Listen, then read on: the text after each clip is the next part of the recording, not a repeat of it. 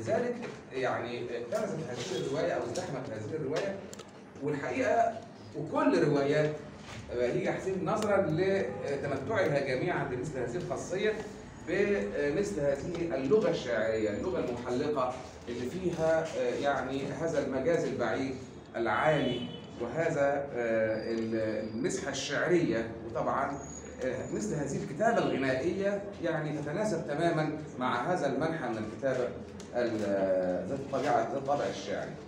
بتقول آه، الصوت الوحيد في صمتها في صمت العالم حو- حولنا كان نحيبا خافتا مني ومنها. لم أكن أعرف هل كنت أبكيها أم أبكي نفسي. القطار ينهش لحمي وسنوات عمري وسنوات عمري.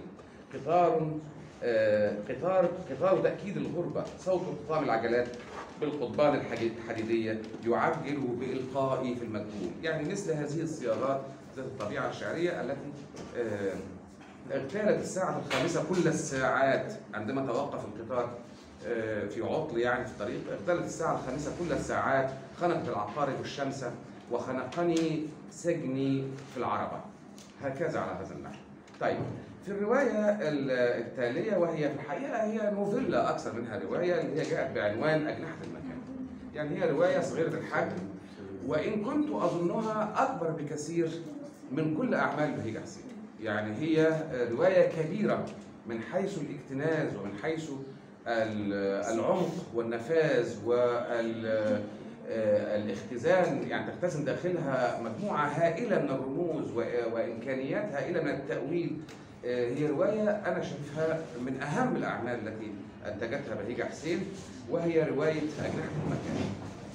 آه، طبعا نسيت أقول إنه آه، هنلاقي دايما آه، الروائح بتشتغل يعني عند بهيجة سواء روائح اللحظات أو روائح الأمكنة أو روائح الأشياء أو روائح الأشخاص.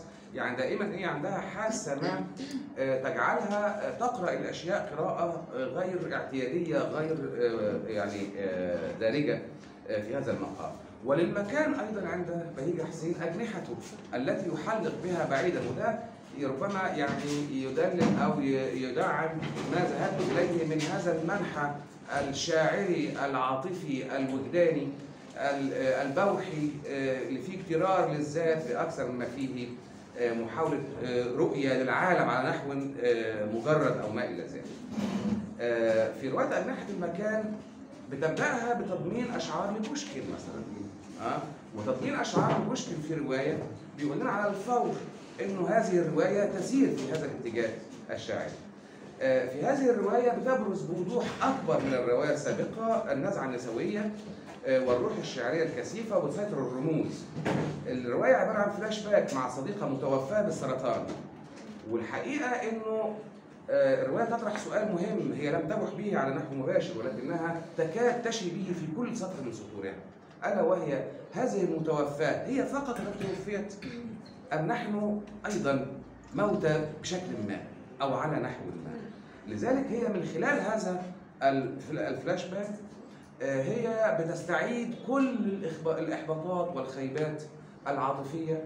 ونقدر نقول كده آه، يعني آه، آه، آه، سوء يعني لا في تعبير أنا غايب عني في الحقيقة دلوقتي ما كتبتوش بس بيلح عليا عايز أقوله بشكل أو بآخر.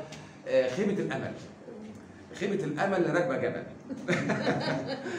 خيبة الأمل في مشروع ال ال ال الأحباء يعني مشاريع الأحباء. وخيبة الأمل دي هتتكرس بقوة غير عادية في مرايا الروح فيما بعد. يعني فيها في حتة بوح ذاتي كده. أنا قلت إن السيرة الذاتية جانب السيرة الذاتية مش شرط تكون سيرة ذاتية لبهيجة نفسها يعني عشان بس ما حدش يفتكر حاجة يا جماعة. يعني لكن هو طبعا آه، يعني من الممكن جدا أن تكون سيرة ذاتية لآخرين وهي تتبناها. يعني هذا أمر أنا أقوله بشكل جاد يعني. آه، لكن في خيبه أمل حقيقية في كل البشر أو في معظم البشر الذين قابلتهم آه، بهيجة.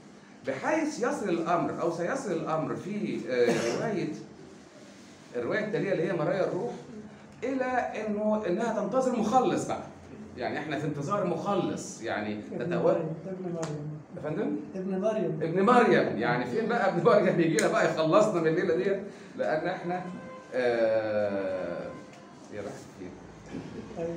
طيب آه تمام. آه بتقول هي صوتي أم صوت الجنية يصرخ قبل آه آه، قليلا أو إيه؟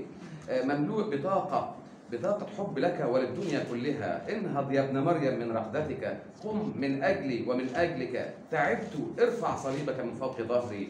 قم من رقدتك يا ابن مريم. إني أنتظرك. طبعا هي الحقيقة ده بيجي في سياق تعداد كم الإحباطات والهزائم الخاصة والعامة والعدو الصهيوني اللي راياته بترفرف على آه، سماء الوطن. والحيتان اللي بيبلعوا الناس والأحياء الشعبية التي لا يحيا فيها الناس. يعني في آه، طرح آه، يعني أنا بقول هو ميلودرامي يعني يكاد أن يصل إلى حالة الميلودراما.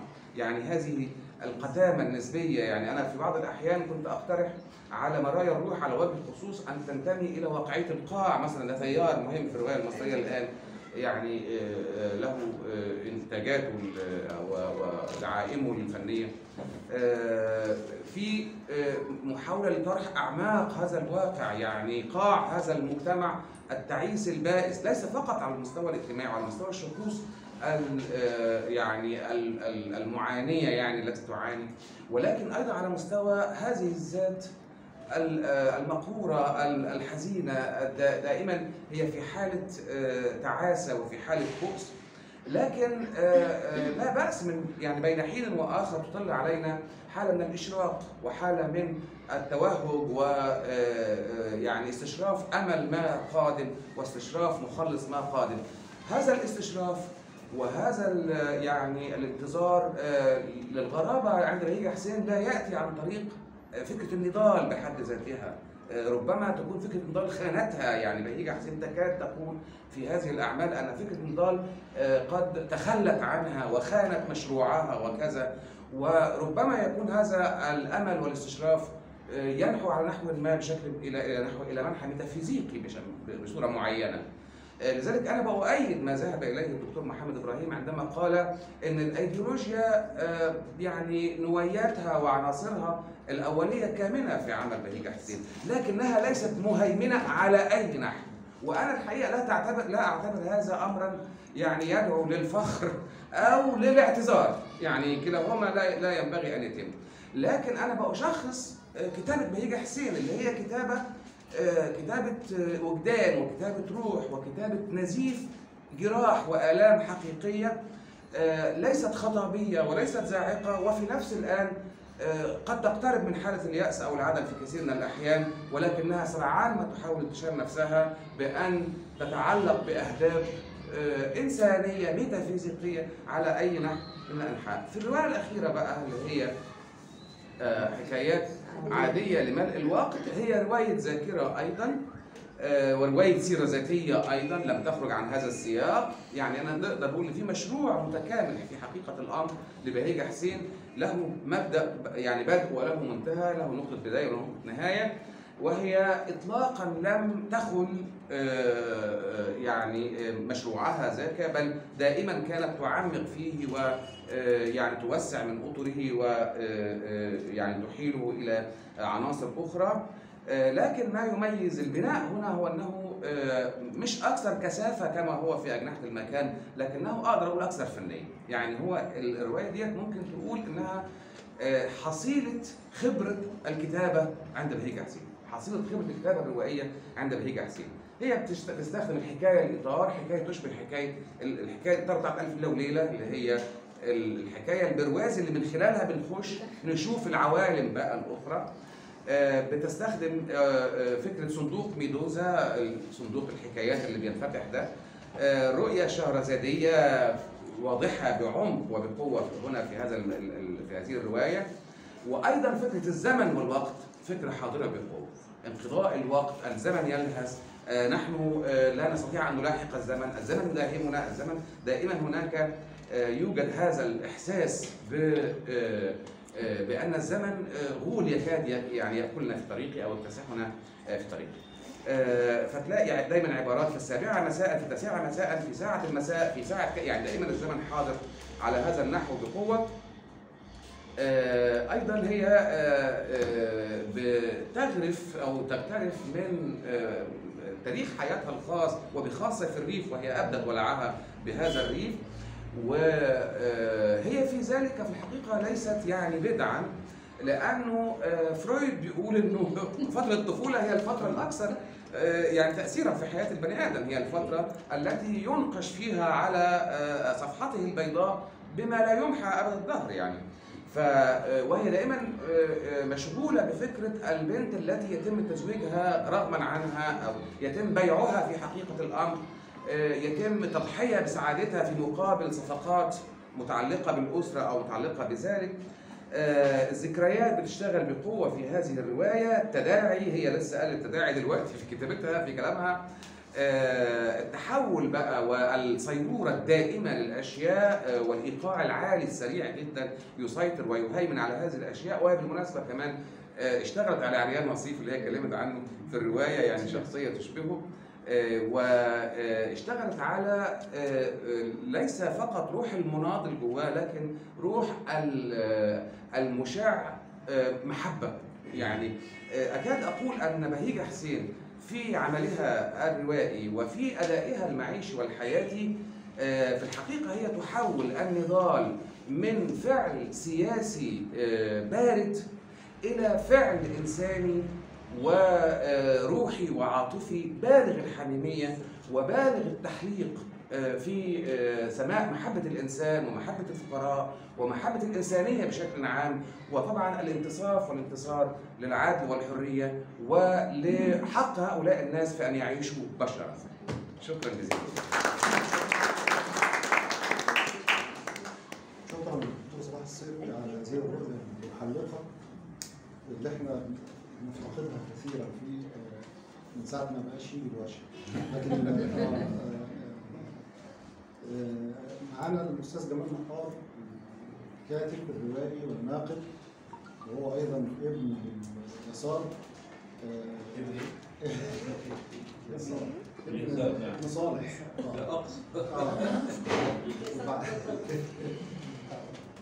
آه، هيقدم لنا قراءة عن آه، رواية رائحة المكان و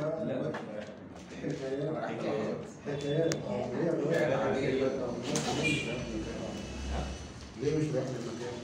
والله أنا فضلت اولا الوقت كان ضيق الحاجة الثانية إنها يعني رواية أنا الفترة اللي فاتت دي كنت بجمع مقالات ونقرأها عن عدد من الروايات.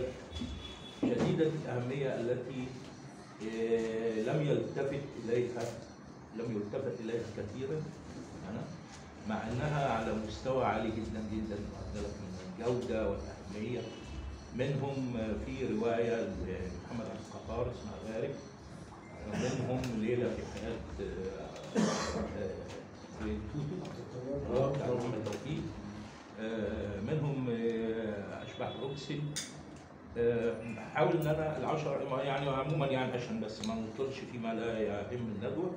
أنا ففوجئت بالرواية الحقيقة أنا ما كنتش قريتها يعني أنا قعدت افاضل بينها وبين رائحة المكان. فلقيت إن لا هدي هم أكتر لهذه الرواية لأنها شديدة الاهميه وما أعرفش إذا كنت كنت أنتجت شيء بعدها ولا لا. أيوه. آه، أنا ده كان يعني فعلا كان احساسي فعموما أنا اعددت ورقه آه، هقرأ فيها شوية وهنتكلم شوية. قليلة هي الروايات التي تصبح فيها الحميمية الشديدة. للعوالم المحكي عنها بهذه القوة بحيث تشكل معطى أساسيا يضفي على الشخوص والأحداث. ليس فقط صدقا أو مصداقية إنما حالة من التوقف الحالي حتى تكاد توقن أنهم بشر حقيقيون يعيشون بين دفتي كتاب ربما لو أغلقته لسمعت صوت شجار شجارهم ومشاعرهم وغناء أفراحهم وأنات آلامهم ثم إذا انصرفت عنهم فأيلتك وجوههم وشاغبتك وأعادتك للتفكير في مصائرهم التي لم تفصح عنها رواية. رواية حكايات عادية لملك الوقت لبهيجة حسين التي ما أن تنتهي من قراءتها حتى تود أن تعود إليها لتبصر أو تستبصر من جديد. هؤلاء النسوة الذاكرات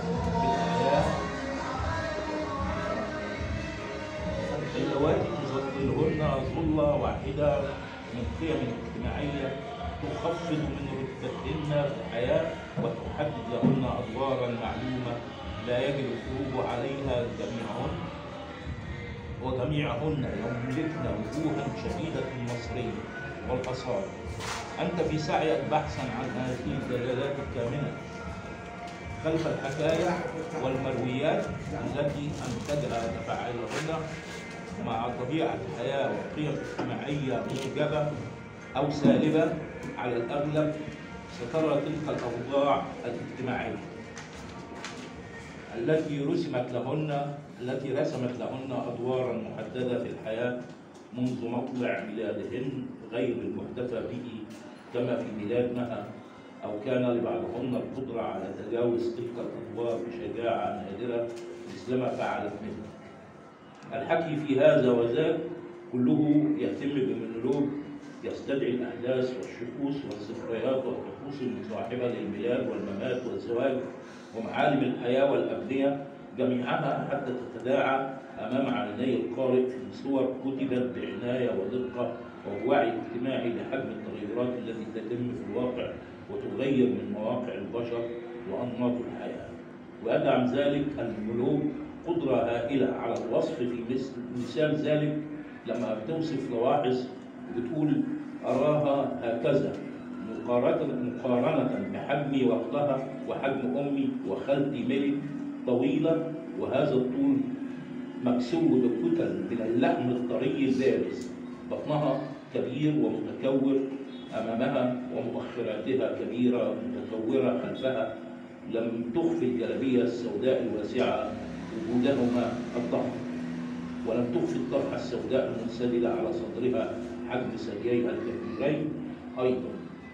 كانت تسير حافية القدمين بينما تضع الكتانيلا تحت رجلها قدماها كبيرتان مفوقحتان وكعباهما مشققان أو في وصف طقوس الحياة الحياة في ميلادنا أو محاولة تدليس الجدة لأخذ وش ملك الذي ملك أو ذلك الوصف المسهب للأماكن. مثال ذلك مبنى المصلحة أو شقة السيدة شفاكي عموما لنعد لترتيب عوالم هذا العمل قبل أن نتناوله بقراءة مستفيضة تقع أحداث هذه الرواية في ديباجة غير معنونة. آه، تقع في عدة صفحات تمهد لاستقبال عوالم الرواية بصورها المتقطعة. المتقاطعة يلي الدباجة ثمانية فصول جميعها عنونت بأسماء أشخاص مثلوا لحد كبير أبطال هذه الرواية ذات الطابع الملحمي ست أسماء منها ليسوى هن على النحو التالي. وهما أسماء الفصول. الخالة ملك خالتي الروحية ملك أو ملك. ملك.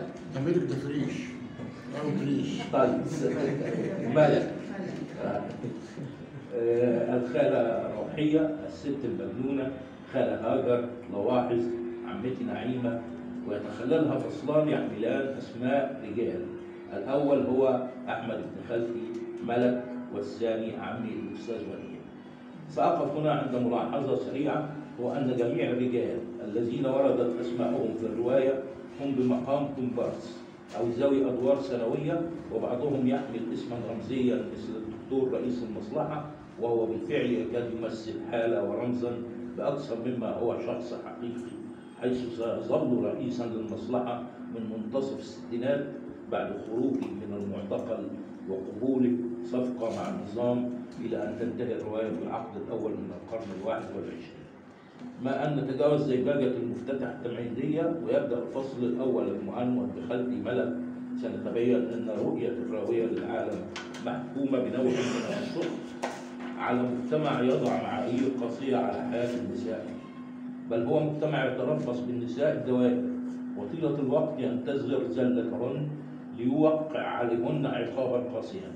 سيذكرنا ذلك بقصة يوسف إدريس التي لا تنسى حادثة شرف حيث يظل ذلك المجتمع المغلق ينتظر أن تزل قدم فاطمة تلك الفتاة الحلوة البريئة ليوجه إليها أصابع الاتهام بالوقوع في مراسم غريب ذلك الفحل الذي لم تقرع أنفه حتى عندما تؤكد أم جورج براءتها نرى فاطمة قد فقدت براءتها الحقيقية وتغيرت في روحها في روحها أشياء في روحها أشياء كثيرة ذلك ردا على المجتمع مغلق لا يرى الشرف إلا من خلال معايير تافهة والغريب في الأمر أن النساء العجائز هن من يحملن تلك القيم أكثر من الرجال. عودة إلى الرواية لنقف هنا أمام ملك التي لق- لقيت معاملة قاسية على يد جدتها على يد جدتها أم أبيها بل أبيها نفسه الذي حرمها من دراسها وضرب حولها حصارا متينا لكن فاطمة ليست ملكا. عند وضعهما موضع المقارنة فاطمة امتلكت عبر التجربة نوعا من التمرد الصامت تمثل في تغير نظرة عينيها وانفتاحهما على حقيقة حقارة الحياة التي تعيشها. بينما المرأة ممثلة في ملك هي ابنة البرجوازية الريفية التي خطت خطوة كبيرة في طريق التعليم والثقافة مكنتها من أن تتجاوز اللحظة وتمتلك قدرة على إزاحة الإدانة عنها بركلة قدم وجهتها لجدتها وهي تحاول التدليس على عريسها لأخذ وشها بدم كاذب ستنتهي ملك ستنهي ملك كل ذلك العبث بتلك الرفصة الخالدة لتمسك بعدها مقادير حياتها بل مقادير حياة زوجها وأولادها بيدها لتوجهها إلى حيث تشاء بصرامة وستظل قولتها في صاد 31 وهي تقص رماها ما حدث؟ وتقول لها يا يا ده أنا اتعذبت عذاب خلاني أكره البنات وأكره الفكر لتمتلك هذه القوة من القول من قوة الأثر ما يجعلها تظل باقية في ذهن القارئ. سيأخذنا هذا إلى إعادة ترتيب حياة هؤلاء النسوة التي حفلت بهن الرواية إلى عدة مستويات ده طبقا لقدرتهن على الثورة والتمرد. نضع ملك في مكانة فريدة عند قمة منفردة. بينما سيكون لعفاف أمها ومها نفسها وشف- وشفي منوالا آخر في التعامل مع معطيات الحياة التي تحط من وضع المرأة بتبنيهن موقف أقرب إلى قانون الوحدة والصراع. حيث سيقبلن أن يخضعن لقوانين ذلك المجتمع بينما سيتمردن عليه من داخله. في مظهرهن الخارجي الذي يتعلق بالملبس ونمط الحياة واتخاذ موقف محايد منه كأنهن عشنا ليراقبن ويشاهدن مسرحية ميلودرامية عاصفة تعرض على خشبة مسرح الدموع والدم وهذا الذي نعيشه. سيأتي في هذا في المستوى الثالث امرأتان مأزومتان كلتاهما ضحية وجانية في آن واحد. إحداهما هي لواحظ التي أخضعت تحت ظروف اجتماعية قاهرة أن تحمل سفاها ثم اتضعت جانبها في زريبة كأن كأنك بالكاتبة تعيد تصوير ذلك المشهد الخالد في التاريخ من نساء المغتصبات. منذ ألفي عام حين سيكون عليهن أن يضعن أبطالهن بعيدا عن الأعين سواء كان ذلك في الخلاء تحت جذع نخلة أو في زريبة. فلا شيء إذا. هنا يتغير في المجتمعات. تظل قابضة على عنق الزمن حتى لا يتقدم بها أو به أو بهن خطوة واحدة للأمام سيأخذها ذلك لتصبح جانية أولا بخنق ذلك الطفل حال ولادته ثم موتها. ميتة مأساوية نتيجة لنوع من التلوث الذي أصابتها به بيئة طبيعية شديدة القذارة أما المرأة الأخرى فهي هاجر هاجر الطفلة البائسة التي بيعت بكيلتين من الحبوب لرجل متزوج بامرأة عاقر عاقر. أسامت هاجر العذاب حتى قتلت فيها أي روح للمقاومة وجعلت منها روحا هائما لاحظ هنا دلالة الاسمين. ملك وهاجر. ملك قمة التمرد وهاجر قمة الانسحاب. ثم تأتي الحالة الأكثر تركيزا أو رمزا وهي حالة الست المجنونة التي تحتمي صيف فشتاء بجدار الدفاع المدني. كشاهد للعبث وقصور التفكير لدى القائمين على الحكم الذي أمر ببنائه أمام الأبنية عقب هزيمة 67 ليصبح حائط لصد شظايا المدفعية الأرضية المضادة للطائرات. هذه المرأة المجنونة التي لا تخاطب أحدا إلا نفسها تظل توجه الإدانة لشخصية غامضة غير مرئية وسيتضح من حوارها الغامض أيضا قدر الإدانة التي توجهها مرة لنفسها ومرة لشخصية خفية صارت 86 بتقول أنا عارفة كل حاجة عارفة إني أنا اللي عملت كده في نفسي. ما حدش جبرني على حاجة. أنا اللي اخترت. آه يا مرة يا وسخه أنت اللي ضيعتي نفسك.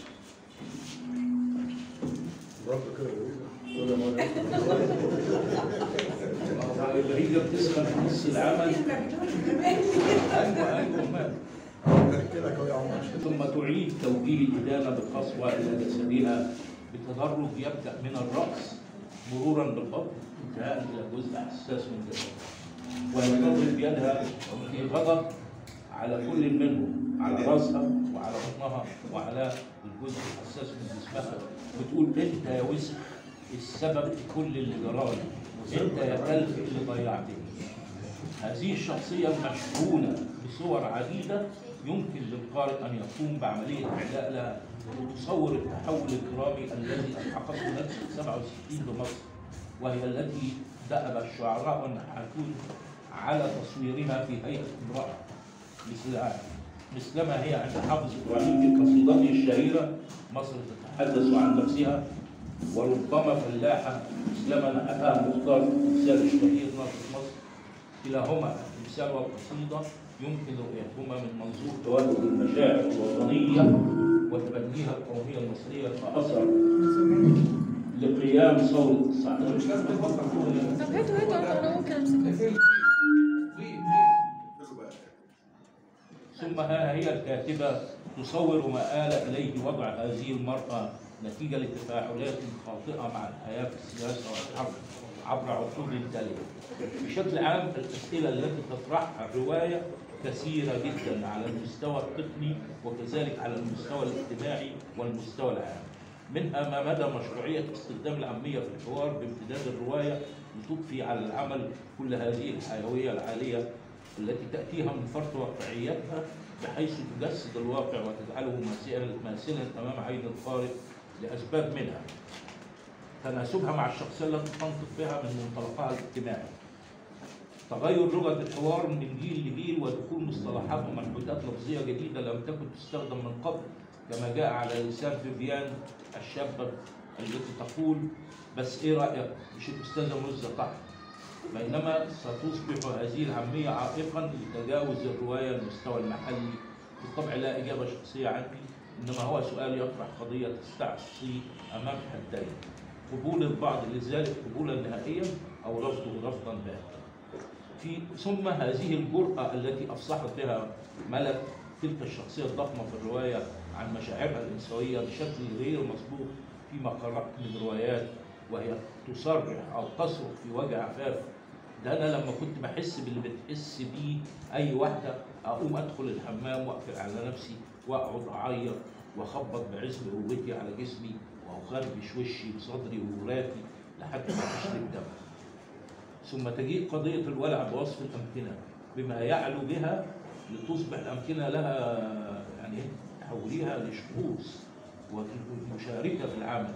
ثم تجيء قضية الولع بوصف الأمكنة بما يعلو بها لتصبح جزءا من موروثات العقل الجمعي حتى لا تكاد تصبح شخوصا حية ماثلة وخاصة المصلحة الغامضة التي يمكن إعلاؤها لتصبح رمزا للحلم بالت- بالتقدم والثقة العلمانية التي صبغت بها في حياتنا بعد مصادرة الثورة للقصر وتحويله لمصلحة عامة. سنرى عبر الثمانية والعشرين عاما التي قضتها مها بين ظهرانه التحولات التي جرت عليه. ليس فقط على المظهر الخارجي الرائع الذي راح يشحب ويضيع بل والمحتوى والمضمون الداخلي.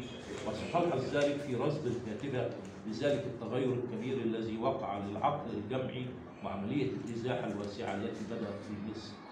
من مطلع سبعينيات القرن الماضي للاتجاهات الاشتراكية والعلمانية والليبرالية بحيث طغى المعطى الديني أو شبه الديني ليغطي عبر تغير نفسي ومادي دهاليز وممرات المصلحة.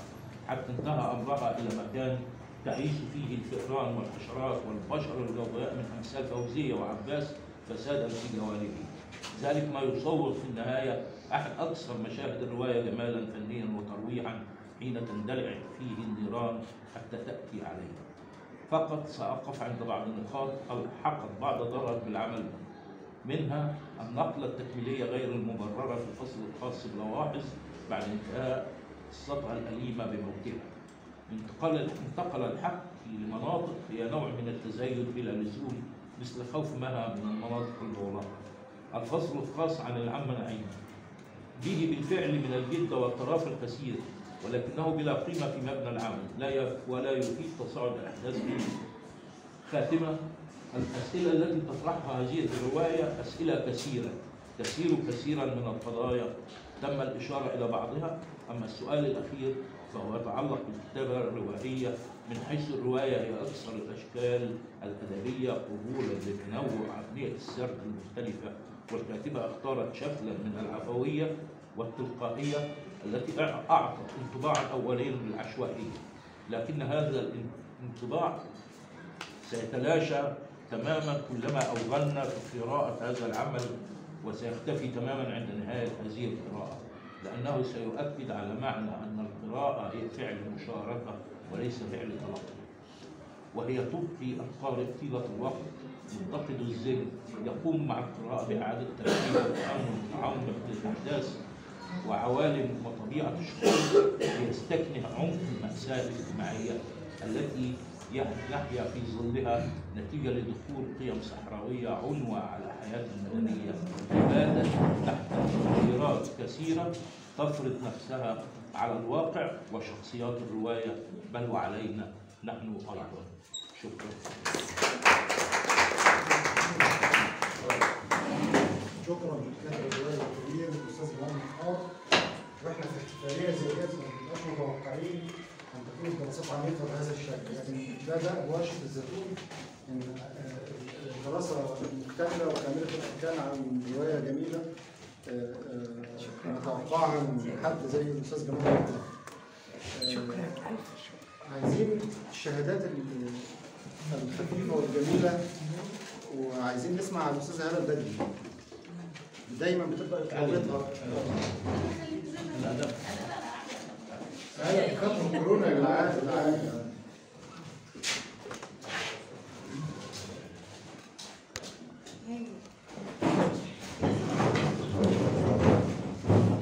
مساء الخير. آه، أنا عايزه ابارك بهيجة بالاحتفال ده النهارده عشان أنا بحب المكان ده قوي وبعتبر إنه أي أي مناقشة فيه هو أي مناقشة حميمه مع ناس بيحبوا بعض وبيقروا وبيحتفوا بالكاتب الحقيقة آه، بهيجة رفيقة عمر يعني إحنا مواليد نفس السنة على فكرة 54 وبهيجة يعني آه، الجانب اللي هي اتكلمت عنه كصحفية آه، جانب مش ممكن ينفصل عن كتابتها بأي حال من الأحوال. يعني يعني لما الواحد بيقرأ كتابة بهيجة آه، في رواياتها بيحس إنه في مسؤولية ما تجاه المجتمع. يعني يعني بيحس على طول إنه بهيجة مشغولة قوي ب- بإنها تقول هموم الناس يعني حتى يعني عندها هي يعني شغلها دايما آه، مكثف وصغير يعني ما عندهاش مطولات آه، باستثناء الحكايات العادية الأخيرة بتاعت دار الميلاد. إنما كل شغلها آه، دايما آه، يعني آه، كتب صغيرة كده مكثفة للغاية الفكرة بتوصل فيها يعني نوفيلا زي البيت مثلا. آه، دي قريتها النهارده الصبح وأنا بستعيد شغل بهيجه آه، و- وحتى دار بينا حوار كده حوالين إن أنا لقيت إن حطيت كتب بهيجة كلها قدامي وقعدت أفر فيهم كده عشان أفتكر. ما لقيتش ولا كتاب فيهم موقع. فبقول لها يا بهيجة أنا كنت هلم الكتب كلها وأجيبهم لك توقعيهم قالت لي معقولة؟ قلت لها آه. فعلا إحنا كنا بنجري كل ما حد فينا يطلع كتاب التاني يروح يجيبه. يعني نعرف إحنا بنعمل إيه يعني في الوقت ده. كان أكتر حاجة بتلفت نظري في شغل بهيجة الحقيقة هو صدقها. لأن أنت لازم تصدقها. يعني لازم تصدق الكلام اللي هي بتقوله. هي مشغولة. بأشياء حميمة عايزة تقولها جوه الأعمال. وتحس إنها يعني أقرب إنها إن الأشياء اللي تخصها هي يعني باستمرار بت- بتاخد من من من شيء داخلي عندها. حتى لو كان أظن أرتين كان اسمه الراجل الالماني اسمه آه، اسمه إيه؟ روبين. روبين. دكتور روبين. آه، روبن يعني أ- أقصد ان هي بتتوحد مع الشخصيات يعني بتديها من نفسها شيء. تحس إنه يعني في حنين باستمرار لفكرة إنه آه، الحنين نفسه. يعني يعني الحنين دي صفة مشتركة في كل أعمال آه، بهيجة. الحاجة الثانية هي فكرة الظلم.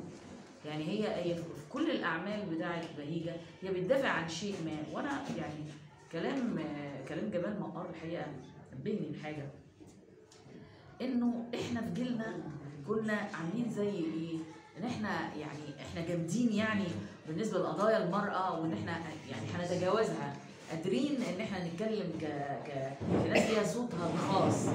آه، فبالتالي ممكن يكون عدد كبير جدا جدا ما انتبهش للحاجات الرفيعة جدا اللي بهيجة انتبهت لها واديت لها حياتها. فيما يخص إنها آه، يعني تشوف الظلم اللي واقع على البنات مثلا أو على النساء في كل اعمالها وإنها تتكلم عنها. حين إحنا مثلا عملنا جدعان كده يعني بنتكلم عن المجتمع كله. إنه ده ده, اللي نقدر نعمله يعني باعتبارنا تجاوزنا المراحل التانية. إنما يعني ده لفت نظري النهارده انه إن إحنا إزاي فوتنا الحاجات دي. يعني هي مسكت حاجات صغيرة كده في حياة النساء والظلم الواقع عليهم في كل الم- المجتمعات. طبعا هي معتمدة جدا على على على ميلادها في كفر صقر يعني وفاكراه كفر صقر في كل الشغل تقريبا يعني أنا أظن كده. أنا ببارك لك يعني على هذا الاهتمام وبشوف إن انت ظلمتي نفسك وظلمتينا لما بطلت تكتبي أدب. حتى لو كان المجهود التاني موازي الصحافة أو السياسة آه، كان ضروري إن انت تعمليه. يعني أظن منتظرين منك حاجات تانية.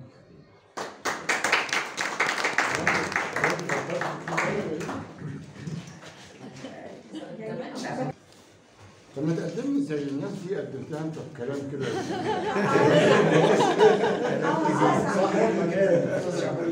لا يكرم المرء ببيته ربنا يخليك. أنا طبعا أنا مش هقول شهادتي مجروحة أنا بحب بهيجه وهي عارفه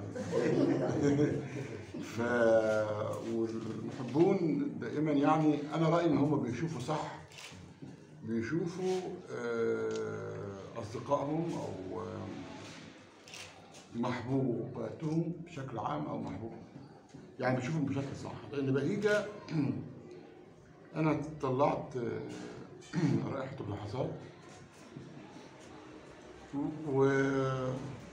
ولقيت إهداء في 92 آه، إهداء لطيف. ولكن في جملة في الإهداء قالت يعني إن إحنا يعني إلى زمن صنعناه معا. آه، وده زمن السبعينات.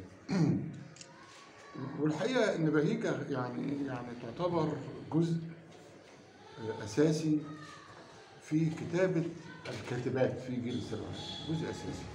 بغض النظر إن هي جريت آه، أو ما جريتش أو قرات لأن في كتاب وكاتبات يعني بيريقوا مغربهم عشان فلان يكتب عنهم. النقاد مقصرون طبعا. النقاد مقصرون. ها؟ خذوا وحشين لا مش وحشين النقاد مقصرون. وده مش مش مواجهة نقد طبيعة ال- الحياة اللي إحنا بنعيشها آه طبيعة المنظومة نفسها زي ما قالت هاله إن الناس بتلهث وبتجري وحاجات من النوع ده أهو. وإن إحنا لما بنقرأ آه، شغل آه، حلو أو شغل جميل ربما أنا نفسي مش ناقد بس ساعات بحاول يعني اتسلق شجرة النقد زي النقاد كده أقلدهم بس ما بعرفش أقول التقنيات والبنية التحتية لا البنية تحتاج السياسة فلان كمان أنا شايف إن منظومة النقد نفسها أصبحت برضو فيها مشاكل. يعني الحقيقة إن في سيمتريات كده في في منظومات كده في النقد بتتعمل والنقاد بيمشوا عليها حتى بمعنى إن مثلا لو جينا أنا قابلت البطل بطل رائحه اللحظات بالصدفة. فاكره يا.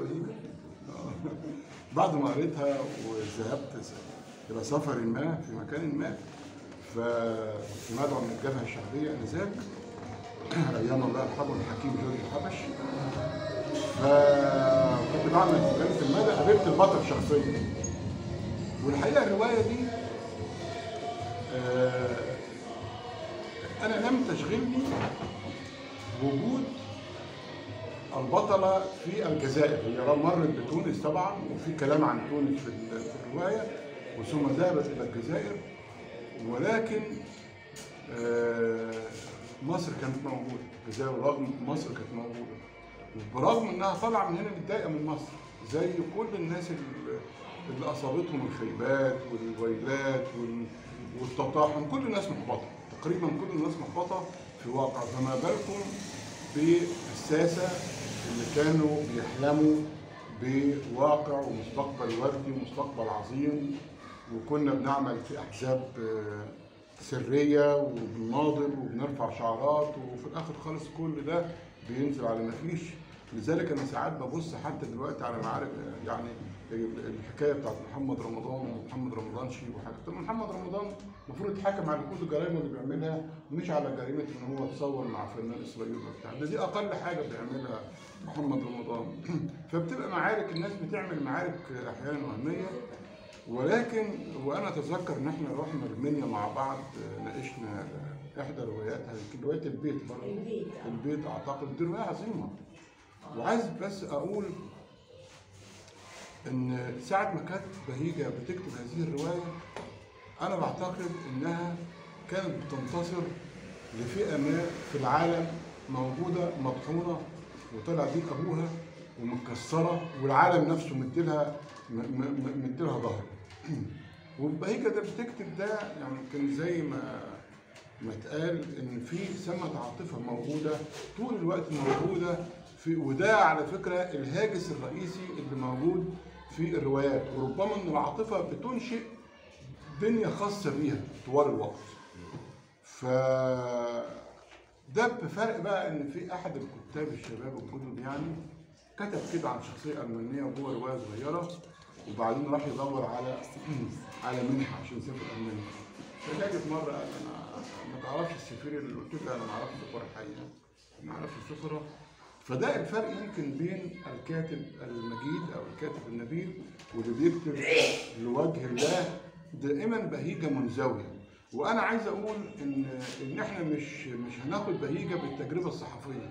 الحقيقة التجربة الصحفية مختلفة عن التجربة الروائية. لأن بهية كمان كانت بتعمل في الأهالي مع الجماهير و...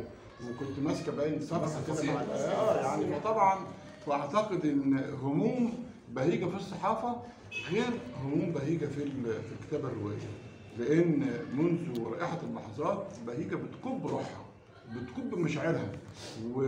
و... وتقريبا إن المبدعين يعني بيبقوا مطحونين في الحياة لكن الكتابة هي أكثر حاجة بيقدروا يعني يفضوا فيها ذواتهم ال- المألومة، المألومة صح يا دكتور؟ المؤلمة يعني لكن المألومة بتنفع ها؟ ألم آه ألم وآلم ومألومة آه ألم وآلم ومألومة أنا أحب كلمة المألومة دي. عجبتني يعني. فالحقيقة الكتاب بيكتبوا من منطقة ألم ومن منطقة خيبة. ربما بيعملوا كتابات عظيمة. وربما ال- الهزائم تصنع كتابة أكثر روعة من الانتصارات. لأن الانتصارات بيبقى فيها تصفيق والتصفيق بيبقى صوته عالي. لكن الكتابة المؤلمة أو منطقة الألم الموجعة بيبقى فيها بكاء وإن هذا البكاء بيصنع همس والفن يحب الهمس. بهيجة عندها أدب هامس. وربما إن محمد إبراهيم طه كروائي حب يجمل بهيجة فظلم الأدب كله لما قال إن إن الأيديولوجيا لا في كتاب كتير جدا ما بيمشوش ورا الأيديولوجيا. آه، آه، مثلا يمكن في رواية رفعت السعيد لأن رفعت السعيد قائد سياسي فعمل روايه البصقه فكانت الشعارات ماليه الروايه من أولها لآخرها. رواية مش عارف إيه في الأدوار العليا نفس القصة برضه حزب الشورى وأعمال سرية ومش عارف إيه. فلكن الحقيقة هناك كتابات كتير جدا آه، في أنا عايز أقول كمان إن في جزء من آه، من إنزواء آه، ولابد إن إحنا في الفترة أنا بعمل كتاب تاني تاني جزء تاني بعد كتاب لماذا تموت الكاتبات وكما تاني كتاب بعنوان كاتبات في المواجهة. فأنا عامل فصل الحقيقة عن عن بهيجه وعن كاتبات أخريات آه، ما تشافوش كويس. ده في وجهة نظر. وأنا عامله من وجهة نظر شخصية مش من وجهة نظر نقدية ولا بحثية عميقة ولا حاجة على قد ما بقول يعني. فالحقيقة إن في النقاد اللي هم المهيمنين على الساحة آه، اللي هم بيكتبوا في الجرايد المرموقة والجرايد واللي بيجروا وراهم النقاد وبيزحفوا وراهم وبيبقى لما حد منهم بيكتب مقالة فالناس تقول له ألف ألف مليون مبروك وحاجات من هذا النوع مبروك على إيه؟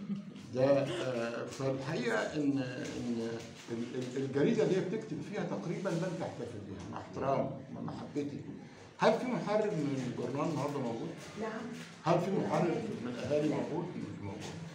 فمثلا إحنا أدي جريدتنا المفروض اللي هي إحنا إحنا كناس يساريين المفروض تحتفل بينا، طب إذا كانت الجريدة ال- ال- الرسمية ما بتحتفيش بمكان، إحنا كان كان الله يرحمه الوحيد اللي كان اللي كان مجدي حسنين وده توفى في 99 في أكتوبر 99 وإحنا عملنا عنه كتاب واللي اختار عنوانه حلم سالم اللي هو غزال البر كان بيجي يغطي الندوات بتاعت الزيتون للقدس.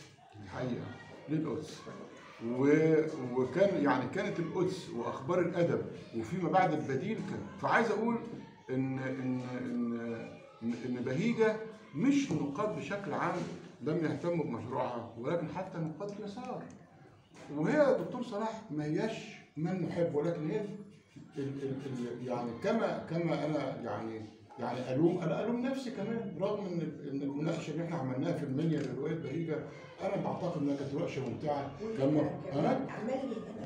وهنا أنا عارف فكان من المفترض كمان إن الواحد يقول الكلام نحن لا نريد أن نبكي على ما مضى ولكن إحنا بنقول ان إن إحنا عايزين ننتصر للكتاب الجيدين بعيدا عن عن أنهم يمين أو يسار آه، بهيجة لها ثلاث تجارب رئيسية في حياتها تجربة العمل السياسي في السبعينات وال وال- والجري من البوليس والوقوف في عربية المباحث وحاجات من النوع ده بالإضافة إلى جريده الاهالي طبعا. وال وال وتجربه الصحافة وتجربة دول ثلاث تجارب أنا رأيي إن هم متوازيين مش متقاطعين. في سمات تقاطعات لكن متوازيين لا ما هو الرواية كانت لا لا ما هو الرواية كانت بتكتبها وهي صحفية ففي توازي في الموضوع الصحفية بتبقى متوفية وهي بتكتب. فعايز أقول إن إن ثلاث تجارب رئيسيه رئيسية موجودة. وإن الحقيقة كمان ان ان إن بهيجة الصحافة آه، لم تطغى على الكتابة الروائيه زي كتير من الصحفيين أو الصحفيين اللي هم دخلوا جمال غصاني آه، أنا البدري آه، في الحقيقة لما المبدع الحقيقي بيبقى متوحد مع عمله بينسى أي حاجة تاني بيرفض أي تجربة. الهاجس الإنساني اللي هو موجود عند بهيجة بعيدا عن الآليات الكتابة نفسها أنا بقول الهاجس الانساني والهاجس العاطفي هو اللي بيصنع ال- الكتابة. يعني الدكتور ال- ال- الأرماني ده أنا لا يمكن أنساه. لا يمكن أنساه في الرواية. يعني ما أنا ما جربتش إن أنا أعيد قراءة الرواية لكن حتى الآن لا يمكن أنسى هذه الرواية العظيمة الحقيقة. وأنا يعني بخيل في في إن أنا اصف آه، كتابه بهذا المعنى ولكن فعلا هي رواية في منتهى الروعة ومنتهى الجمال. أيضا أنا تعاطفت وحبيت روايه رائحة اللحظات آه، العبارات في كده. كنت بحس إن العبارات آه، بتشد من الورق وأنا بقراها. في ذلك الوقت الحقيقة. ولاننا كنت أصحاب تجارب موضوعة في العمل السياسي وتهردكنا وأحلامنا. بس بننهض مرة أخرى زي كل المصريين اللي حياتهم وبيقوموا مرة أخرى يعني. والنهاردة إحنا ده احتفاء.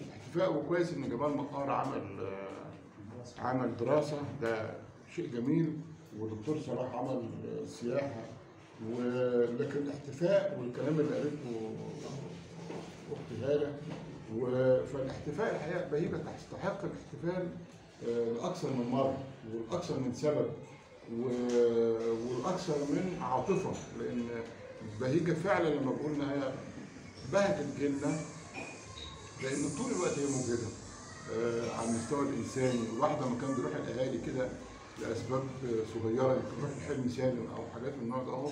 فبهيجه بتستقبل الواحد آه، يعني بشكل خاص. ما أعرفش تعملوا ده معايا بشكل خاص ولا تعملوا مع الجبنه بتروحوا هناك؟ عايز تعترف يعني لا لا فعايز أقول إن فعلا إن آه، يعني بهيجة آه، واردة في في جيل السبعينات وفي كاتبات كتير جدا. مش حكايه ما خدوش حقهم. لا نحن لم يعني ما انتبهناش ما انتبهناش لل... لل... للسرعة دي لكن آه، أعتقد إن زماننا قادم على كده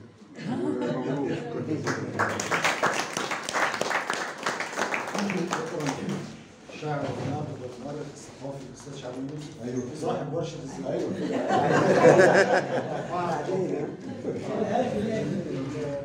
المداخله الأخيرة المداخلات الأساسية وهي مداخلة لطيفه إحنا عندنا نظام يا أستاذ حسن مع آخر المداخلات الرسمية بعد كده بنبدأ كله فاطمين يعني.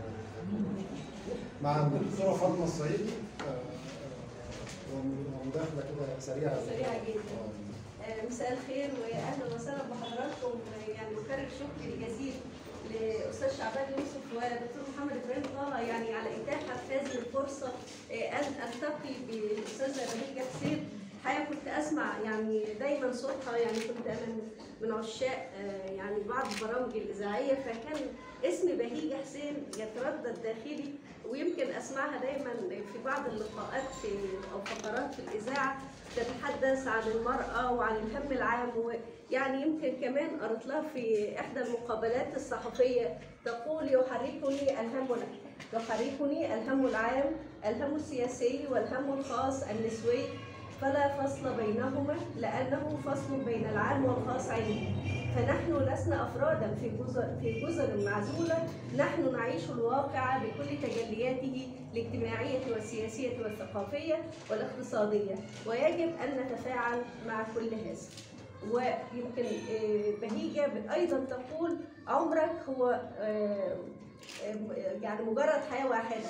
ولكن انت واللي حواليك واللي بتسمعهم وبتقرا لهم بيخليك تعيش ألف حياة ولكن لا تنسى أن تعيش حياتك. يمكن آه، لو حضرتك يعني هذان مدخلان لرؤية بهيجة حسين آه، في آه، مثلا حكايات عادية لملء الوقت. أنا سوف يعني أطير كده يعني خفافا.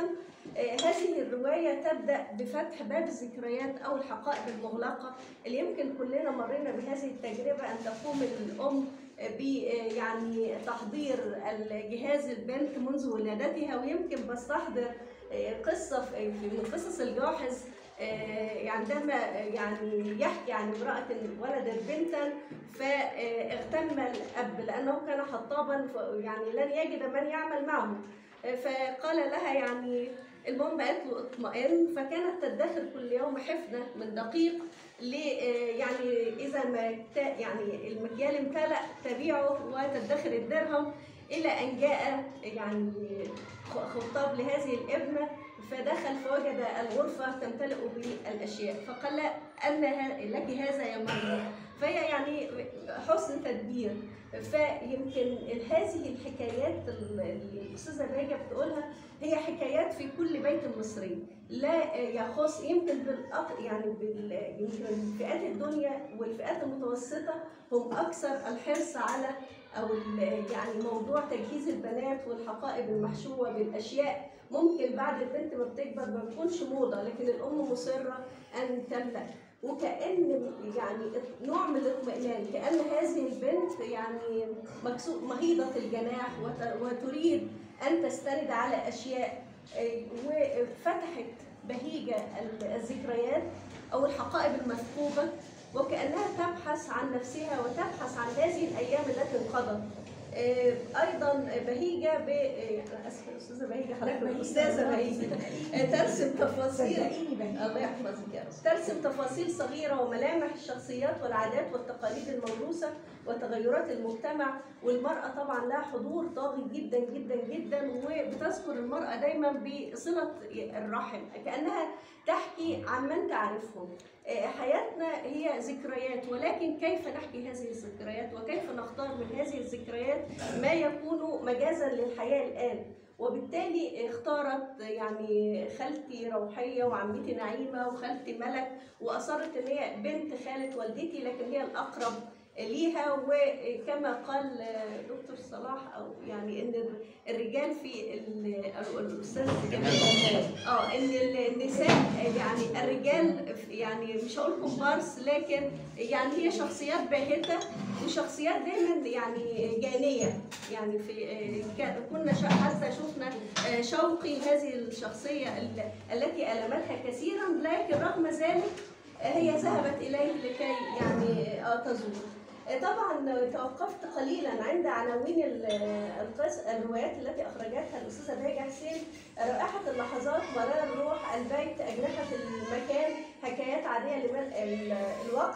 آه، كلها بتدور آه، يعني السيده بهي يعني الأستاذة بهيجه مشدودة بين التاريخ والجغرافيا. يعني الجغرافيا والتاريخ وكأنها بين تريد أن تقتنص اللحظات الماضية لكي توظفها الآن أو تقتات بها الآن. يعني كثيرا نحن جميعا ما نلجأ عند الإحباطات أو عند يعني الخيبات نلجأ إلى الأماكن المضيئة أو الأيام المضيئة وما أروع طبعا الطفولة عندما كنا لا نحمل شيئا على يعني اكتافنا وبالتالي يعني فتحت لنا آه، طبعا حضور القهر والقهر الشديد.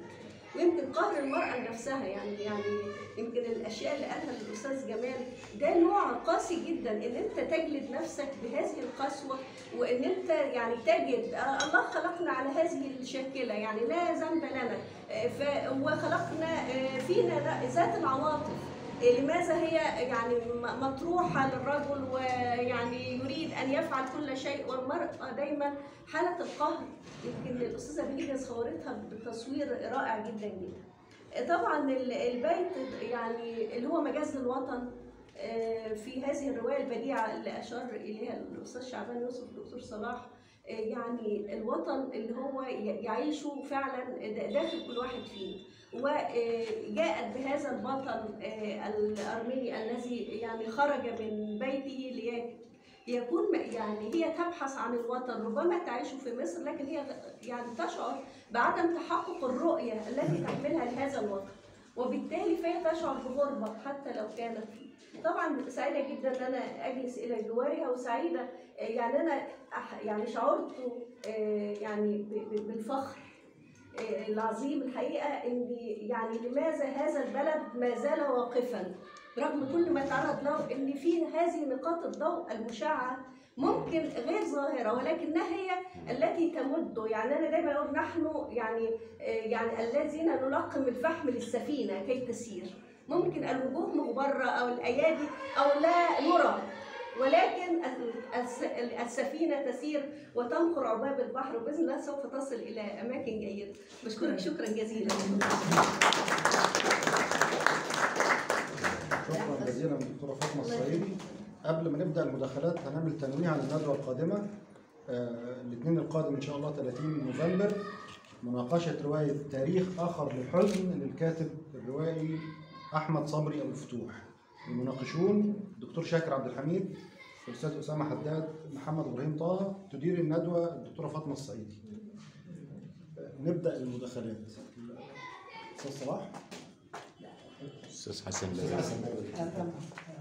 بالترتيب بالترتيب. أنا بصراحه أشكر جدا إن أنا أحضر مناسبه تخص الأستاذة بهيجه والاستاذه بهيجه بعتبر انها علامه من علامات الصحافة في العصر الحديث. وأتمنى لها كل التوفيق بصراحة. في الفترة القادمه شكرا جدا أستاذ حسن أنا اسمي حسن بدوي دخلت كلية علوم سنة 71 72 حولت لآداب عين شمس سنة 72 73 وفي أكتوبر 73 أكتوبر 72 استقبلت بهية حسين وهي لسه داخلة الكلية. ومن يومها وبيننا تاريخ مشترك لم ينقطع. وفي حاجات كتير قوي قوي سواء بس مش بس سنين الكلية اللي قضيناها مع بعض ولكن كمان لما راحت الجزائر ورجعت كنت أنا دخلت الأهالي 82 واستقبلتها سنة 84 في الأهالي وبقينا يعني من هذا التاريخ وإحنا أصدقاء ورفاق يعني لنا تاريخ طويل. وعشان كده أنا يمكن حابب ان ألقي إضاءات كده على حاجات تبهجة الكثير الإنسانة الصديقة الرفيقة اللي كانت مؤكد إنها ورا تفجر مشروعها الإبداعي وورا حتى تعاملها مش بس مع الأدب مع السياسة ومع بتاع بنفس الطريقة اللي بتتعامل بيها مع الأدب. زي ما عبر عنه الدكتور صلاح عباره إنها روح. هي روح في كل المسائل هي تتعامل مع الأدب والسياسة على أنها بتأنسن من هم بالنسبة لل- للآخرين مجرد أرقام أو عناصر هامشية في المجتمع. لا بتأنسن بت- هناك عناصر حية. بتأنسن السياسة حتى في شغلها معانا دايما كلامها مختلف يعني إحنا بنتكلم بنقول تحليلات بتاع هي بت- بت- بتخش في زوايا ليها علاقة بالحاجات البسيطة واليومية بتاعتنا هرجع تاني هتكلم عن بهيج حسين مش هتكلم عن عن الموضوع ده. بهيج حسين بدأ ظهورها في المجال العام السياسي مش في الحركة الطلابية. أنا أفكرها بحركة الأمهات أمهات وأهالي المعتقلين. اللي هي دخلت الجامعة في أكتوبر واتقبض على دفعة كده في 29 ديسمبر 72 ثم على دفعة تانية أنا كنت منها في يناير 93 و- واتخلقت في الوقت ده حركة أمهات وإخوات وأهالي المعتقلين وكانوا بيروحوا يحضروا كل الجلسات في المحكمة بمظاهرات ويهتفوا ويروحوا يتظاهروا قدام مكتب النائب العام ويتظاهروا قدام نقابة الصحفيين وقدام مؤسسة الأهرام وبتاع. كل ده وأنا أنا في السجن. كانت تجي لي وأم ست فلاحة يعني جلابية سمكان ما بتعرفش تقرا ولا تكتب بس كانت مندمجة. وكانت بتخاف جدا. فوجئت إنها اتغيرت خالص في الحركة دي. فتيجي تحكي لي في الزيارات رحنا عملنا مظاهره كذا وهتفنا ومش عارف إيه ما بين امينه شفيق في انتخاب الصحفيين وبين وشتمنا موسى صبري مش عارف إيه وحاجات كده وبتاع. من الناس القليلين اللي كلمتني عنهم بهيج حسين ما كانتش تعرف بهيج عرفتها في حركة الامهات وكانت بتجي لنا بهيجه المحكمه ساعتها. و...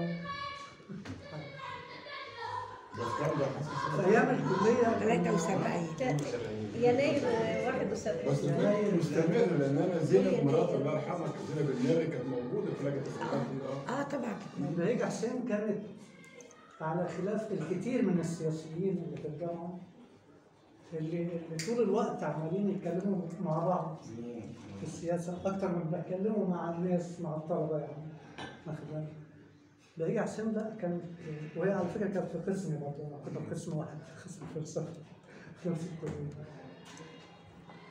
كانت بهيجه بتهتم جدا. يعني هي طبيعي كده. بتتكلم كتير قوي في التفاصيل البسيطة والعادية بتاعت الحياة وبتاعت الناس وبتاع. وافاجئ إنه بعد سنين طويلة جدا إنها بتفكرني بتفاصيل صغيرة لما كنا ماشيين مع بعض في شارع رمسيس مش عارف حصل إيه ولما كانت تاخد حقنة في الاجزخانه وأنا رحت معاها مش عارف حاجات أنا ناسيها مش في دماغي بس هي عندها كان ورانا. مظاهره واعتصام وجالي برد. فكان لازم أروح آخد حقن. ورانا اعتصامات عندها قوية جدا. وعندها روح حساسة جدا. روح طايرة كده وحس مرهف جدا.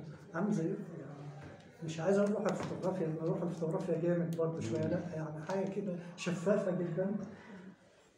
بتلقط وبتخزن كل ده وعندها التفاصيل دي.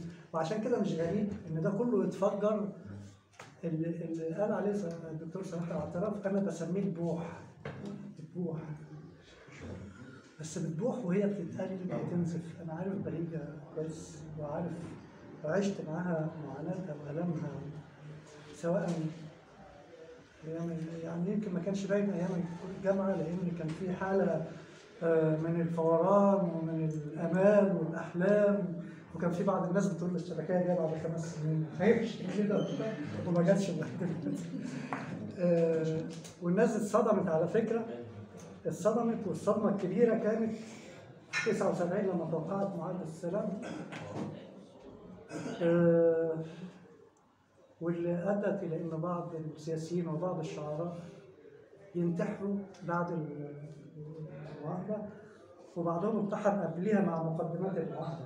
مين اللي بتاع أحمد عبيد؟ أحمد عبيده أحمد عبيد. في 74 آه سبعين كانت له ظروف أخرى. في آه، يعني آه، آه، آه، احمد عبيده انتحر في 74 كان 74 ده كان له ظروف ثانية خاصة خالص ما كانش في. ثانية خاصة. آه آه.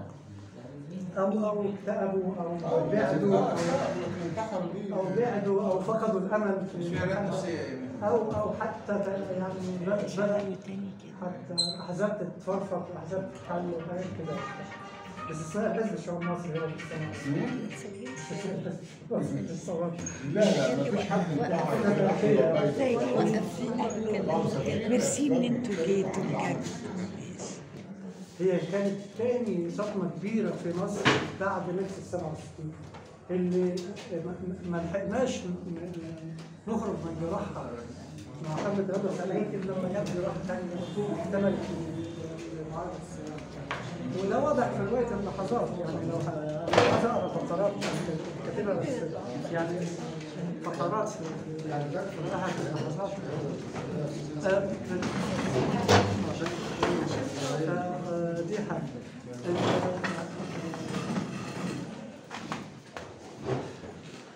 أنا عايز أقول بس حاجة تانية لما جت بهيج حسين الإيهابي ح- عمل كلفت بيه واستمرت تعمله على طول كانت مسؤولة عن صفحة المصري الفصيح الصفحة بتاعت هموم الناس. ومشاكلها وشكاويها الناس بقى البسطاء والغلابة ويجوا المحافظات من كل المحافظات وبتاع. فهي كانت تجربة وكان ليها عمود في الصفحة. اختارت له اسم عين حورس. طبعا اختيار مش عشوائي عين حورس يعني آه، ارتباط حميمي بال- بالمصري مش عارف. هذه الصفحة على قد ما كانت بتسبب لها آلام لكنها كانت أعتقد إنها كانت سريعة جدا وتجربة ثراء كده جواها عملت إلى جانب عملت إلى جانب اللحظة الثالثة. اللحظة الثالثة في في بهيجة اللي فكرت هذه التجربة الإبداعية.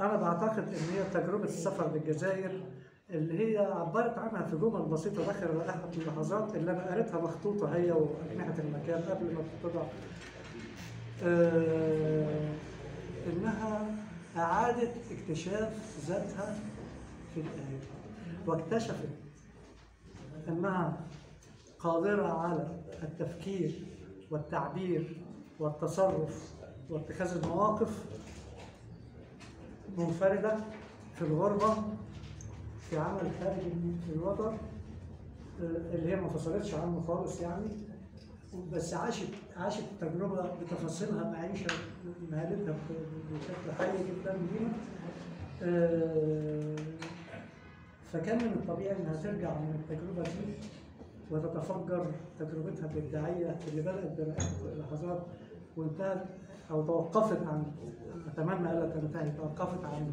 حكايات عادية لمدى الوقت اللي أنا شايفها مش عادية ومش ومش كسر ملل لا ده هي حكايات عميقة جدا وهي تملأ الفجوة بين الحلم والواقع. ده ده ال- أنا طبعا عندي كلام كتير جدا. آه، عشان عايز ملء الوقت. استاذه ليلى حسين. برضه في عجاله كده آه، أنا ما قابلتش آه، آه، بهية حسين من أكتر من 20 سنة. اتقابلنا قبل كده صدفة مع الأستاذ رحمة الله عليه الأستاذ أسامة عفيفي والأستاذ حسين عبد العليم آه، يرحمهم الله. وكان حظي جميل إن إحنا اتقابلنا هذا الشهر مرة تانية. هي مش هتفتكرني لكن آه، ملامحها وصوتها ما زالت محفورة جوايا. اللي أنا شعرت إن هي إنسانة بتتعامل مع مع الناس ومع الورق والقلم آه، بحروف روحها. يعني بتسكب روحها آه، في الناس وفي ورقها وباسلوبها الجميل. مش عارفة يعني هي قامة قامة إنسانية و وأدبية وسياسية. إنسانة جميلة بكل المقاييس.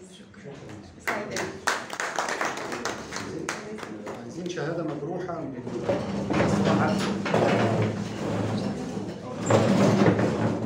العشاء. هتخطف يا أنا أقول إنه يعني تجربتي مع بهيج حسين كانت تجربة جميلة ورائعة ويعني ادت لحياتي معنى جديد وجميل. خلتني قادر على إن أنا أستمر ويعني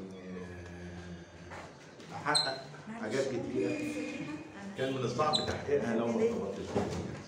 ده من الناحية الخاصة. من الناحية العامة يعني بهيجة أنتوا حضراتكم اتكلمتوا وافضتوا في كلامكم عن الأدب وعن بهيجة كحركة طلابية وكصحفية و...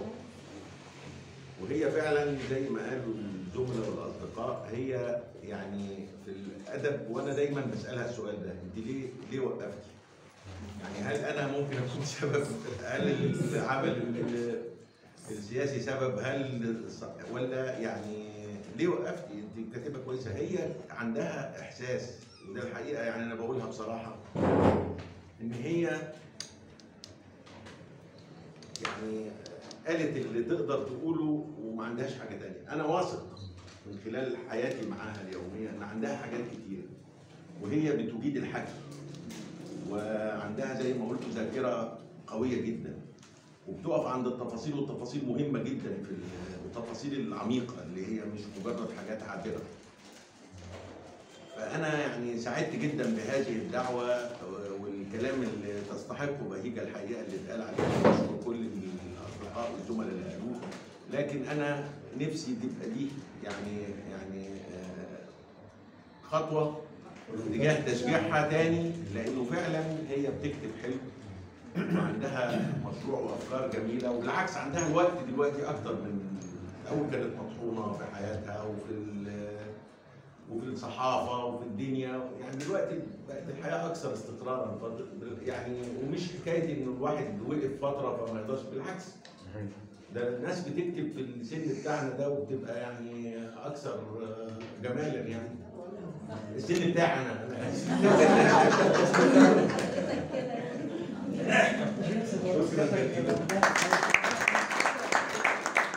أستاذة منى رامز. مساء الخير. أنا بحيي الاستاذه بهيجة.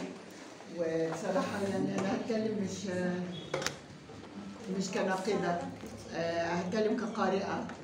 آه، أنا يعني اندهشت من الرواية والرواية حكايات عادية. عجبتني جدا جدا لدرجة إن أنا ما قمتش من عليها يعني أنا قعدت آه، ليلة بدأتها مثلا النهارده وخدت يوم بليلة. ما ما قطعتش. من كتر ما سرد جميل و... و... وأسلوب آه، آه، هو مش سهل ولكن اسلوب بديع بجد. وبعدين لقيت فيه شجن. وحضرتك بتكتبي بروحك يعني فعلا وإحساس جميل وشخصيات الرواية عجبتني جدا لأنها شخصيات حية حسيت إن هي شخصيات حية فعلا ومتحركه غنية بالرغم من إنها كتيرة ولكن ما أزعجتنيش وأنا بقرأ حسيت إن هي غنية جدا بالشخصيات وعميقة. وبعدين حضرتك عندك وعي عميق بال- بالوعي الاجتماعي بال- بالمجتمع الريفي والحضري كمان. وبعدين في كمان آه، شيء جميل جدا ان إن أنا لقيت نفسي يعني أنا برضو من الجيل بتاع حضرتك لقيت نفسي في, في كل آه، يعني الشخصيات كلها موجودة في حياتي. الشخصيات دي مرت عليا فعلا بنفس المواصفات. لدرجة إن مثلا البيت بتاع نهاد المطبخ ووصف المطبخ نهاد حسيت إن هو أنا من شبرا وحسيت إن هو ده فعلا مطبخنا؟ آه, آه ده مطبخنا آه بالظبط وأنا طفلة صغيرة آه فكان يعني فعلا كنت مستمتعة بشكل مش معقول.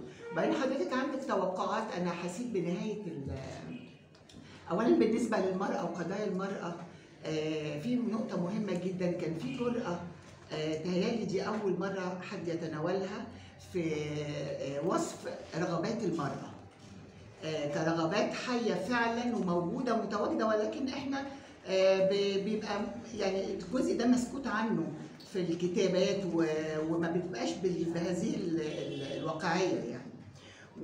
وبعدين في إسقاطات شوية طبعا في ال- في الرواية. آه، كانت آه، يعني آه، النكسة مثلا. أنا اعتبرت المجنونة دي دي كانت نتيجة ال- نك- 67 نكسة 67 في بقى شيء مدهش جدا. الرواية اتكتبت 2008 وفي نهاية الرواية أنا حسيت بعد حريق ال- المصلحة أو الهيئة اللي زي المجم- المجمع العلمي أما اتحرق. يعني كان في توقعات المجمع العلمي لما اتحرق كان في توقعات حضرتك حطيتيها؟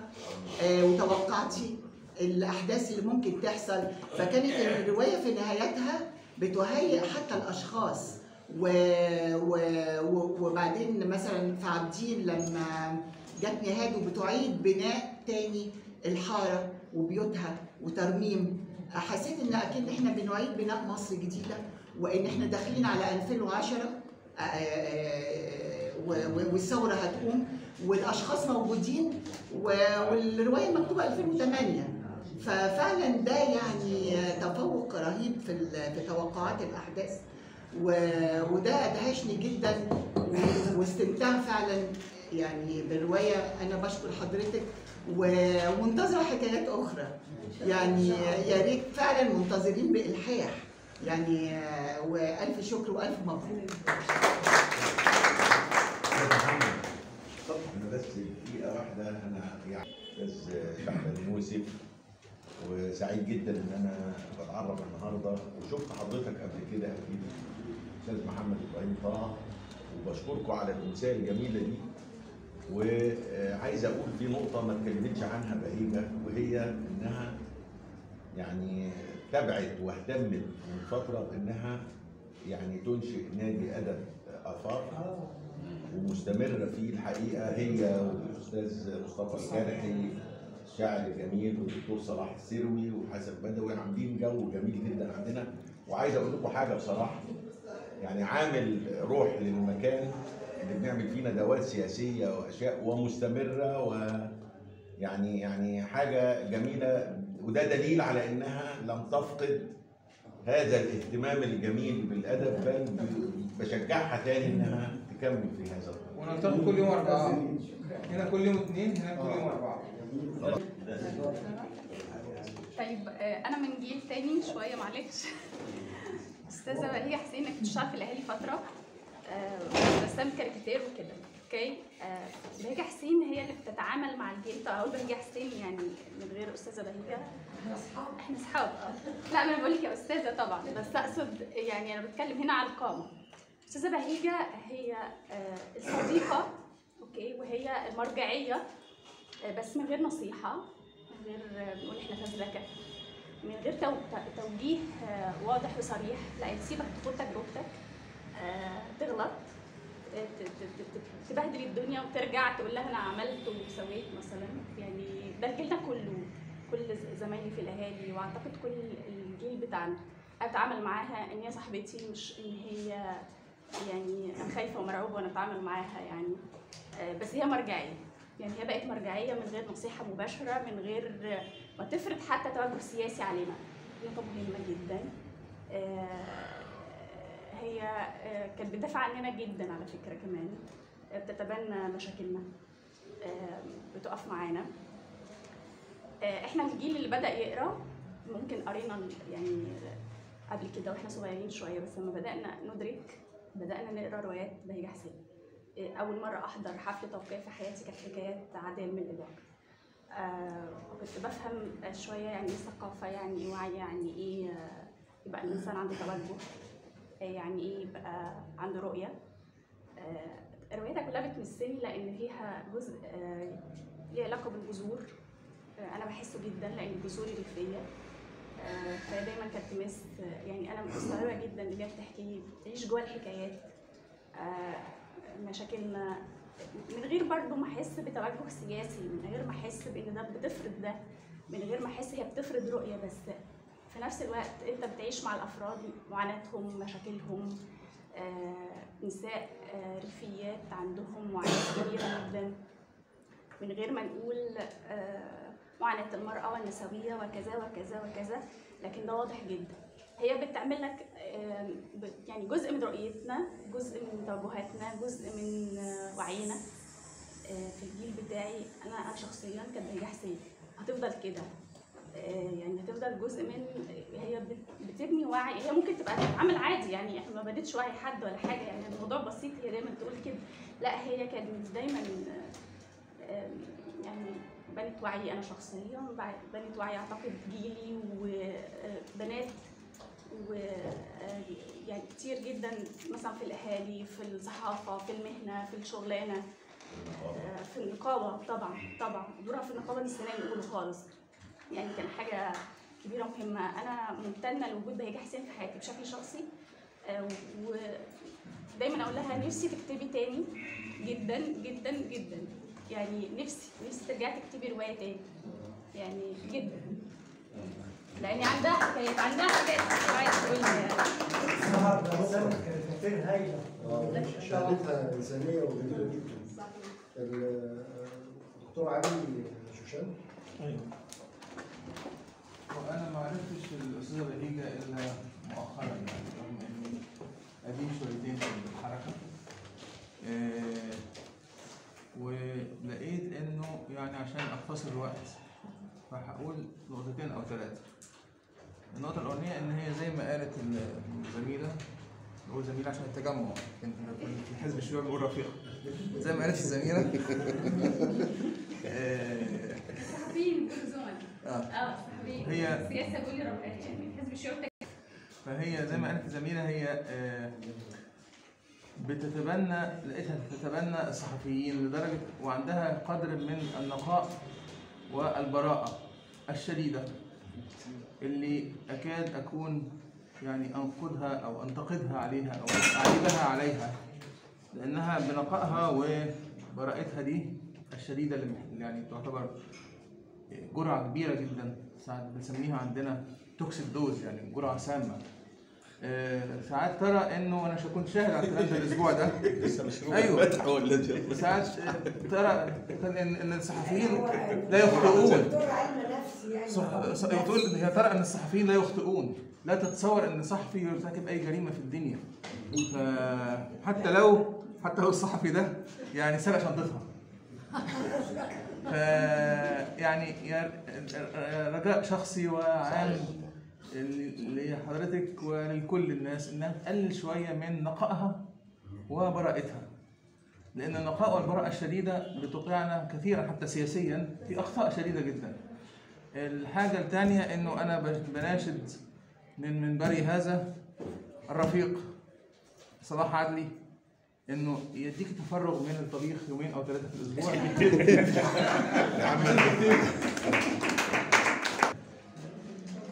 يعني أنا مفيش حاجة كنت مفيش حاجة ينفع أقولها لأن بهيجة صديقه عمر وفي الصحافة مع بعض وفي النقابة جاهدنا مع بعض وما أقدرش أقول غير إن هي فعلا أخت ليا مع اختلاف انتماءاتنا السياسية لكن مع بعض بتحسش إن إحنا في اختلاف رؤيتنا للوطن أو أحلامنا مع بعض. فهي أختي ما أقدرش أقول حاجة غير هشام العربي أنا هتكلم عن حكايات عادية لملء الوقت. إحنا ناقشناها في السنة في ورشه واصلا أنا قلت للأستاذة بهيجه ما قدرتش أكمل لي قلت لها شبعت يعني. حكايات كثيرة جدا وهتتعجبي بيها وبالمصادفه بعديها بأسبوعين أو 10 أيام كنت في الحزب في المركز الحزب. كريم الدولة مش عارف كنت رايح ليه الصبح كان في ميعاد أو حاجة زي كده. ففوجئت هي بتتصل لي أنا ما تذكرتش وبعدين طلبت لي قهوة. فقلت لها شكرا. فسألت الولد اللي هو بيجيب القهوة قال لي الأستاذة بهيه قلت له آه، شرقاويه زي طيب أنا هتكلم بسرعة كده عن ال- الرواية. آه، كنت معجب ومفتون بيها فعلا. أول حاجة الحكاءه ممتازة ممتازة ممتازة. وتتحكم في تناسل الحكائي للحكايه يعني من حكاية لحكاية لحكاية. في الفصل الأول اللي هو خالتي ملك ودي الشخصية الأسطورية اللي هي سيطرت على احداث الروايه دايما تظهر وتختفي وتظهر وتختفي لكنها مهيمنة بتطورات مراحل حياتها. اللي الكاتبة قدرت انها تمسك مفيش شخصية آه، سوري مفيش شخصية ابيض اسود بتبدأ حياتها إنسانة منبوذه ومحطمة بسبب ابن عمها ثم تبدأ بعد كده يعني ورث بتاعها أو شخصية مهيمنة ولها تأثيرها حتى في فترة إنها حاولت تتزوج واحد من أولادها من سن أولادها وبتقف قدام العيلة كلها ومع هذا بتنتقم منه عندما تكتشف نواياه. الفصل الأول كمان في نقطة مهمة اللي هو آه، آه، مسألة لعبة حمادة. هي كاتباها حمادة بيلعب. لا لعبة حمادة كانت مشهورة جدا في نهاية السبعينات مع التطور أو التدهور اللي حدث في الصورة الأزبكية وشرايط الكاسيت والنوع من التدين أو نوع من ال- اللي إحنا عايشين فيه النهارده في نهاية السبعينات. فكان دي بتفكرني يعني آه، عملت رابط بين حمادة بيلعب والفترة الزمنية دي. آه، في قصة اللي هو يعني في التتابع الآخر مأساة أحمد اللي هو توفى وهو عن 38 سنة ابن خالتي ملك برضه. آه، وما الست المجنونة آه، الحقيقة يمكن مش عايز أقول ضعيفة شوية لكن يعني بره السياق لكن فكرني بقى في ال- الحوار اللي هتكلم عنه. وهي بتكلم نفسها وتضرب بالشبشب آه، يا وسخ يا وسخ يا وسخ كده ف آه، مع آه، الاستاذه الله يرحمها نعمات البحيري في إحدى رواياتها اللي هو امرأة مشاعه تقريبا. آه قالت إيه الزواج هو راحه عضو على حساب جميع فكان هنا يعني يعني يا دوب تماس مع المقولة دي. آه، في بدأ بقى نقدر نقول أنا انفصلت شوية مع بنت عم جدتي وستي خضراء وبعدين جدتي آه، ال- الجدة. فعمل لي لبس لما عرفت إن ست خضراء ده حاجة بنت عم الجدة أو حاجة زي كده. في مشكلة. اهم ما في الموضوع اللي يناسبني اللي هو الحوار؟ الحوار. حقيقه حوار ما أعرفش أنا نقدر نقول في العامية في بلاغة؟ دكتور صلاح في بلاغه بس أنا قلتها مرة يعني بليغ قال لي يعني إزاي آه، حوار عامي عامي في بلاغه صح. نعم. لا لا. شاهد. والله حضرتك العامية في بلاغة فالحوار اولا صد رد مفيش تكلف فيه. كذا يا بت مش عارف إيه مش عارف إيه. وبامثله وتطفيل الأمثال أو توشيح العمل بالأمثال العامية القرويه بتاعتنا كان جميل جدا و بهرنا الحوار فعلا والأمثال اللي فيه لكن هي نقطة الحريق اللي هو كان في الآخر ده كان فيه مشكلة آه، وبعدين احييك برضه على كلمة مصلحة. لم يعني ما كشفتيش ما هذه المصلحة. الأستاذ آه، رئيسها دكتور وسافر روسيا واعتقاله قليل بينما عمي وديع ودي شخصية برضه مؤثرة جدا. ذكر على الهامش واتضح إن هذه الشخصية لها تاريخ مع الأم ويعني كشيوعيين الأول ما وضحتش لماذا قبض عليه يقبض عليه ثم يفرج عنه يقبض عليه بعد كده اتضح عملية ال- الورق المخبأ في حقائب طبعا أنا آه، يعني ما قريتش هي الرواية دي وأنا وعدتك إن أنا يعني آه، لما قلت لك ساعتها كفاية مش قادر أكمل غير بعد ال- الست خضرة دي أو كده ما كملتش ليه؟ في 2009 قلت لك شبعت من الروايات ومن لا أنا المرة دي بقى شهيتي انفتحت فعلا وأشكر الدكتور محمد طه انه بعت لي ال- PDF اللي تعبني قوي برضه. نفسي في أي نفس. طب آخد نفسي بس. عشان بتاعتي تكتم النفس شوية. طبعا أنا شهادتي هتبقى مجروحة في الأستاذة بهيجة. ازيك يا حسن؟ هتبقى شهادتي مجروحه وأنا فخورة بيها وطبعا بناشد بطلها بقى إنها ترجع تكتب حاجة جميلة زي اللي هي كتبتها. واخر حاجة البيت طبعا دي حاجة خاصة بيا أنا قوي وبشكرها إن هي عزمتني إن أنا أجي النهارده. بس أنا يعني أرجو النقاد إن هم آه، يستشعروا مسؤوليتهم تجاهنا أنا معظم ما قرأت قراته نتيجة لقراءة نقد عن عمل. آه، أنا الحقيقة ما قريتش آه، بالمقدمه اي نقد لأي عمل. من اعمال الاستاذه بهيجه الحاجة الثانية إن الأستاذة بهيجه آه، زي أي كاتب في مفتاح لقراءة عملها ومفتاح قراءة الأستاذة بهيكة هي إنها آه، إنسانة آه، زي ما قال الدكتور كده آه، طيبة قوية جدا وهو ده مفتاح قراءتها في كل حاجة. هي دخلت السياسة لأنها إنسانة دخلت الصحافة لأنها إنسانة دخلت آه، مجال الكتابة الروائية لأنها إنسانة. وعبرت عن إنسانيتها في كل هذه الأشكال. وعشان وده السر في إن لا الأيديولوجيا طغت على كتابتها ولا طغت على مهنتها زي ما ال- ال- الأستاذ سحر بتقول لم تكن تعطي تعليمات. ولا توجه توجيه سياسي. هي إنسان يتحرك بإنسانيته وبصدق شديد وأرجو أنها لا تفقد هذه هذه الصفة البراءة لأن هذه البراءة هي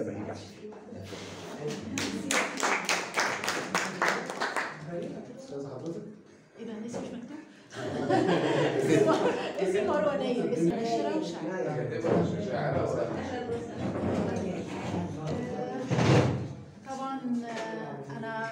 وصلتش إن أنا أعرف. فأنا هتكلم كمتلقي آه، معرفتي بالسيده بهيجه حسين استاذتنا كلنا طبعا في جيلنا ده آه، معرفة تعتبر حديثة وقديمة. أيامها. قبل ما آه، فكنقد مش هقدر أنقد غير إني أقول اللي أنا شفته كمتلقي اللي أنا شفته كمتلقي هي احتضنتني كشاعر في اداب آه، نادي أدب. نادي أدب رفاق الشرقيه آه، كانت بتشجعني فكان تشجيعها ليا كان حافز ليا اني أتحسن. وشايفة ده. آه، طبعا آه، كتاباتها مع عملها النضالي فإحنا شفنا أعمال نضاليه فائقة.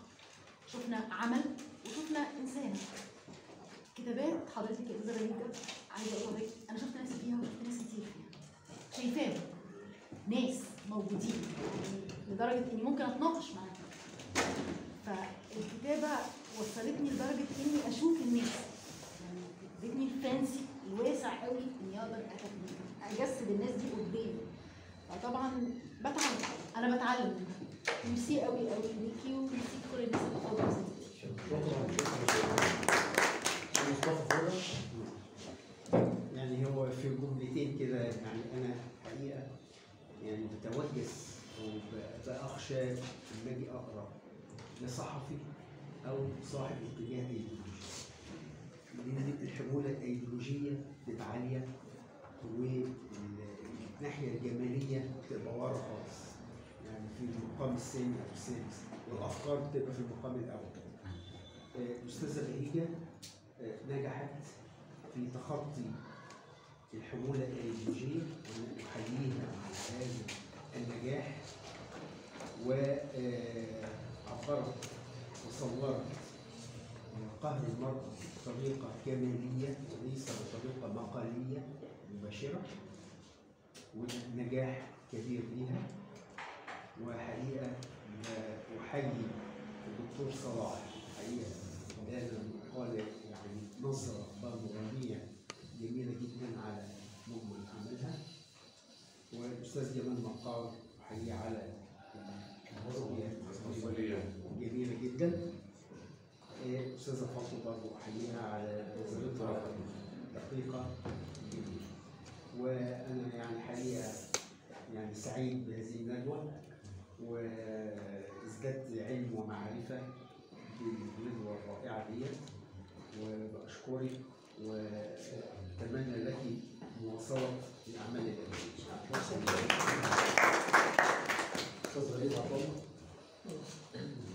حافظة حلو مسك الختام. مسك الختام ما قبل مسك الختام عقب على كل الناس أنا الإنسان بره الجسد الكتلة بتاعتها فبيقول نحات فبتكلم عن الكتلة والفضاء الإنسان اللي بيقول أفكار في بره بيتعامل بيها مع كل الناس من شهر ونص تقريبا سألت حضرتك في المطبخ أفكار قلت لك قلت لها أنت ليه ما بتكتبيش؟ عشان جاهز قالت لي يا غريب أنا عندي خمس اختيارات بنتكلم عن مش عايز أميل قوي ناحية ال- الاتجاه السياسي حياتها هو كان ليه تأثير كبير على آه، مشيها ببطء نحو آه، نحو إيه بقى؟ ترسيخ أديبة كاتبة محترمه تشتكي من وجعات ال- ال- الإنسان في مصر مجتمعنا بشكوى حلوة يعني زي ما بتديني ال- الدواء المحاط بالسكر أو بالشوكولاته عشان أقدر آكل ده فهي أنا مش بعتب على ان ليها ميول سياسيه لكن بقول هو ده اللي عشته هو ده اللي اديتهولي أنا برجوها دلوقتي من هنا ولم اقرا اي حاجة لحضرتك كان سؤال البنات ساعتها اللي الشارع للجنس من فضلك ما ينفعش توقفي على الكتابه شكرا لحضرتك مشاهدات جميع على ان الاستاذه بهيجه اسمه كائن جميل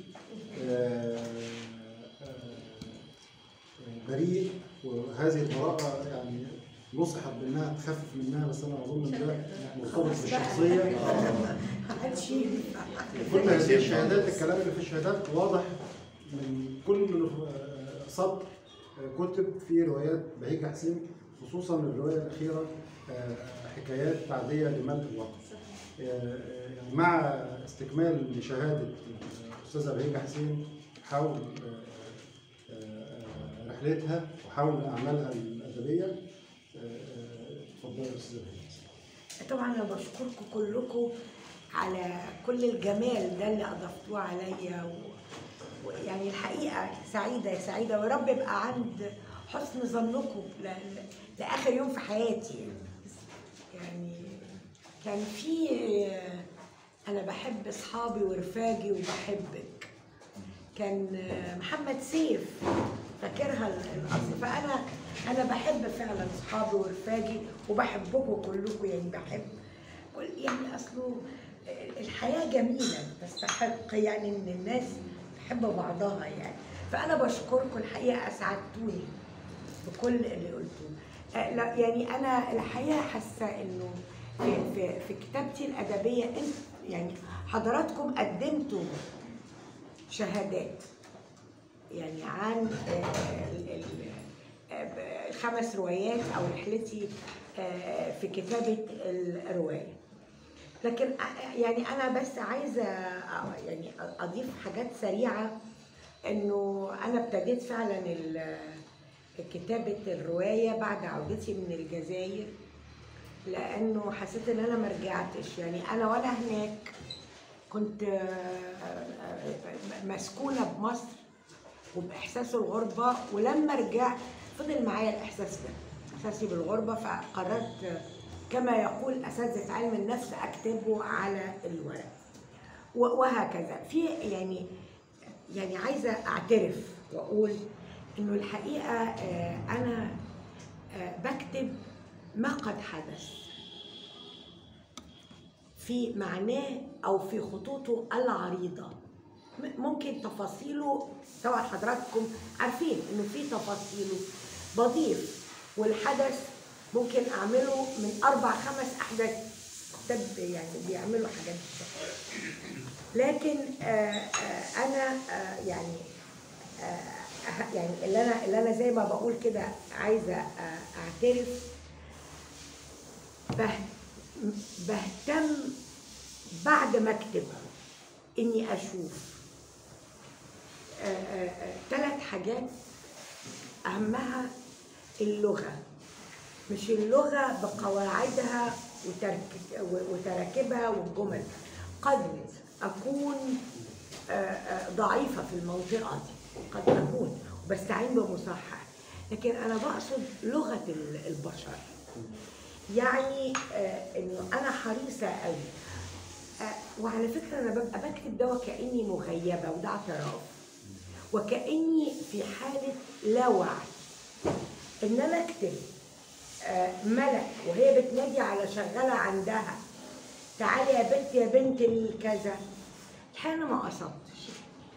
بس دي ملك بتقول كده. يعني ملك لما هتتكلم. لما تروح و... و... لابن عمها اللي اتهمها انه عمل معاها علاقة. وتحط رجلها فوقه وهو بيموت.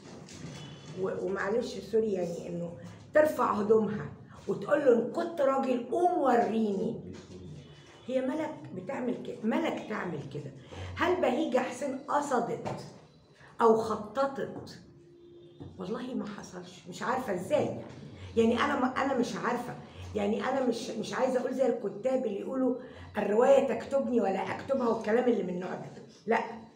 يعني أنا وأنا بكتب ملك هذه هي ملك وهي بتقول. لما في, في مثلا رواية البيت الراجل التركي ال- القاهر آه، آه، اللي هو عايش على آه، أمجاد الإمبراطورية المريضة يعني اللي بتنهار. وبيته بيتحرق. ف, ف آه، آه، الناس رايحة تطفي النار. فيقول لك آه، آه، ارجع يا فلاح يا خرسيس انت وهو.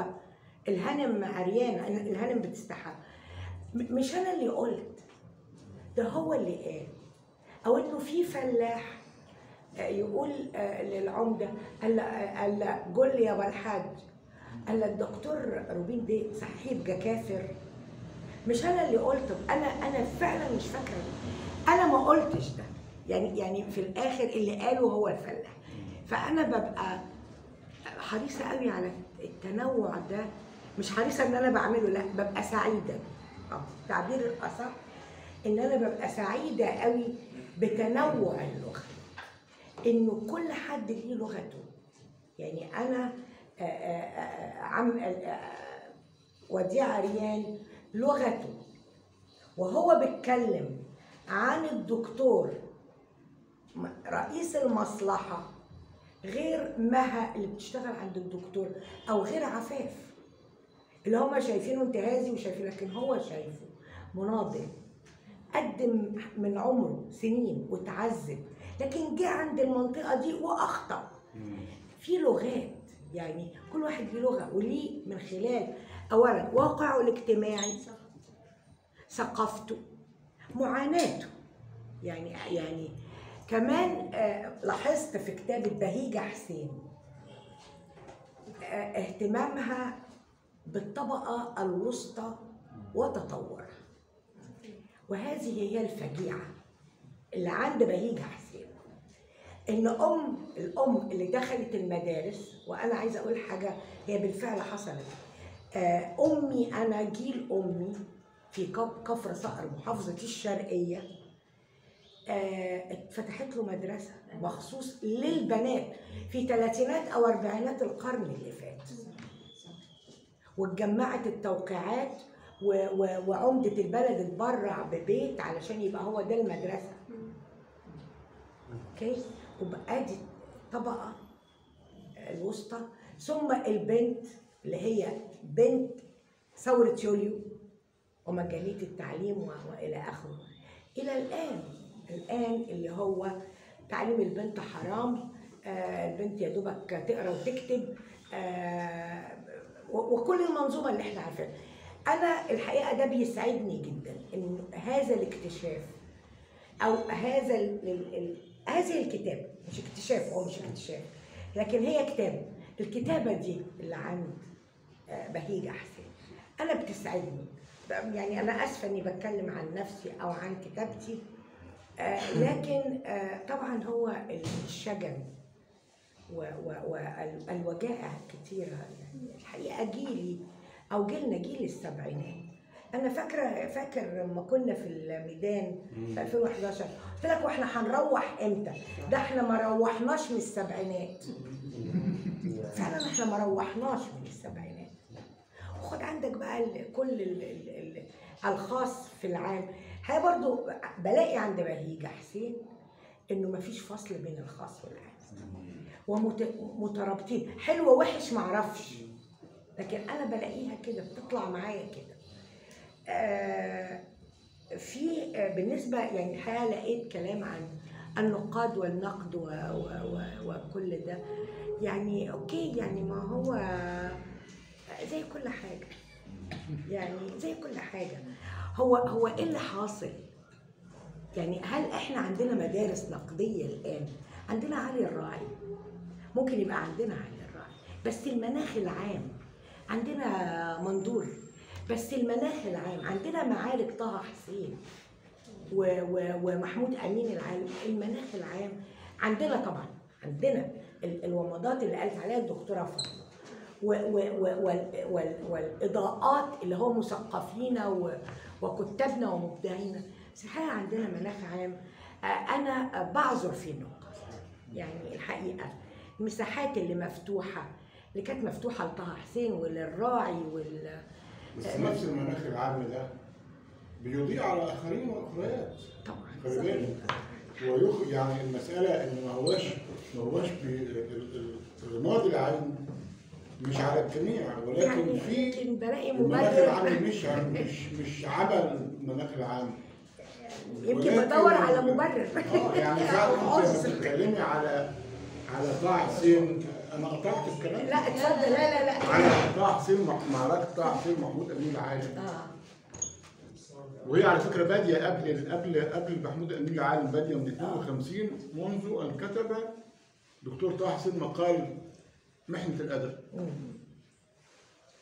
وابتدى حسين عبد القدوس ثم صلاح حافظ ثم بقى محمود أمين العالم وعبد العزيز انيس ودخلوا معاه في المقرأة مع الشهاده دي خناقه محمد مندور ورشاد رشدي وكل واحد له فريق آخر. ما دي كانت خناقه وعلى فكرة الدولة هي اللي كانت بتتيح ده في فتره من الفترات يعني كانوا الخناقه كانت على صفحات جريدة الجمهورية. أيوه آه على جريدة الجمهورية. طبعا. الجريده الرسميه الاولى آه ثم معاهم مسا ودي يعني يعني خ- خناقات تاريخية مش سهلة.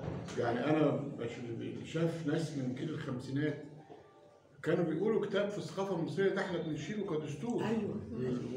وكأنه خلاص اكتشفوا إحنا فعلا عندنا نقاط ولكن المناخ العام مين متاح ليه إن يكتب مثلا مقال في الأهرام غير غير جابر أيوة، غير جابر. مين متاح ليه إن يكتب مقال نقدي أدبي في المصري يوم غير دكتور صلاح فضل اللي هو مسك المجمع اللغة دلوقتي؟ أيوه ف... ف... فطبعا لا... لا... إن إن دي استدعاءات أو دي حاجات موجودة مدروسة بدقة شديدة جدا و... و... وموجودين وهم وهم اللي بيهيمنوا على الصحافة. وهم بيهيمنوا على على المسابقات وإن هو يعني إحنا مع مع احترامنا الشديد لكل اللي خدوا جوائز لكن في كاتبات وكتاب لم يعني كاتبات لم يحصلن على جوائز. هو بي- مش بيريقوا مقهورين عشان يروحوا يقدموا لأن المفروض إن الجهات المحترمة إن هم يرشحوا الناس. يعني أنا عمري ما تقدمت الجوائز وبعد هذا العمر اللي الواحد قضاه من المفترض تبقى في مؤسسة قد كده مثلا تذكر اسم الواحد لكن لا ده مش موجود. فالمناخ العام في الوقت اللي بيغمض عيونه عن آه، كتاب وكاتبات بيفتح على على على ناس تانية. على ناس تانية بشكل بشكل فظيع. لماذا أنا لما كتبت كتاب اللي هو لماذا تموت الكاتبات وكما كنت بشعر بالأسى الشديد. شوفي نجوى شعب ماتت إزاي شوفي نعمات الكلام ماتت إزاي شوفي سالم عملت إزاي وشوفي ليلى الشربين عملت إزاي. والأجيال السالفه من اول مي سياده وعائشه التيمورية ونبويه موسى نوال السعداوي مع كل مع كل مشاكلنا معاه أو أي حاجة. لكن حتى الآن لم تحصل على جائزة مصرية. لم تحصل على جائزة مصرية. وفي سمة عداء آه، بينها وبين ال وبين ال النخبه وح- وحد حد يعني حاجات من هذا النوع ممكن ممكن حد يقول إنها مش كانت مش أديبة ممكن يقول إنها حد مش لكن ست ليها دور وحركت المياه الراكدة آه حركت المياه الراكدة وحتى الآن نوال السعداوي لم تعرف لأن بشكل عام إن في فكريات اللي هي البطريركيه دي أو الذكورية مش م... م... م... وطبقية اجتماعية كلها معجونة مع بعضها بتخلي ماسكه عاملة جدار سميك لا تمر منه سوى من يريدون إمراره. وتعالوا شوفوا إن إحنا في كتاب كبار جدا كانوا مرشحين وفي التصفية الأخرانية بيتقصوا ويتاخد حد تاني. محمد إبراهيم طه واحد منهم. وأنا نفسي أكتب كتاب كده اسمه ضحايا الجوائز. بجد لأن في يعني يعني يعني في في في, في, حاجات مخجلة. أنا بشوف شفتها بعيني في الكواليس.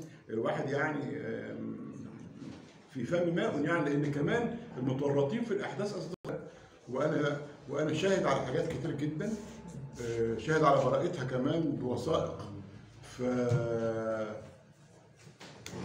في ظل ده تموت نجوى شعبان ولا يحتفل بها تموت نعمات البحيري بين أيدينا وحصلت على جائزة تفوق باعجوبه شدة جدا.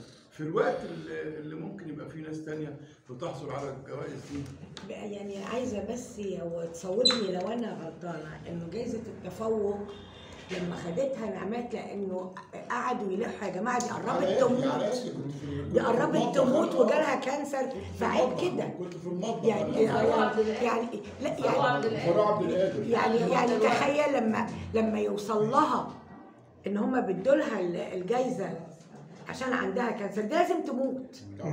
يعني. هي ماتت كده الاستاذه هالة البدري كان لها آه مداخلة صغيرة جدا. تعليق صغير. على كلام شعبان يعني إضافة لكلام شعبان هو لما جه المجلس الأعلى للثقافه عمل احتفالية ب- بجوائز الدولة اللي كانت 20 سنة المفروض ان يقدمها رئيس الجمهورية فكانت متوقفة. فراحوا عاملين كتاب يرصدوا فيه الجوائز والأسماء وحاجات بالشكل ده.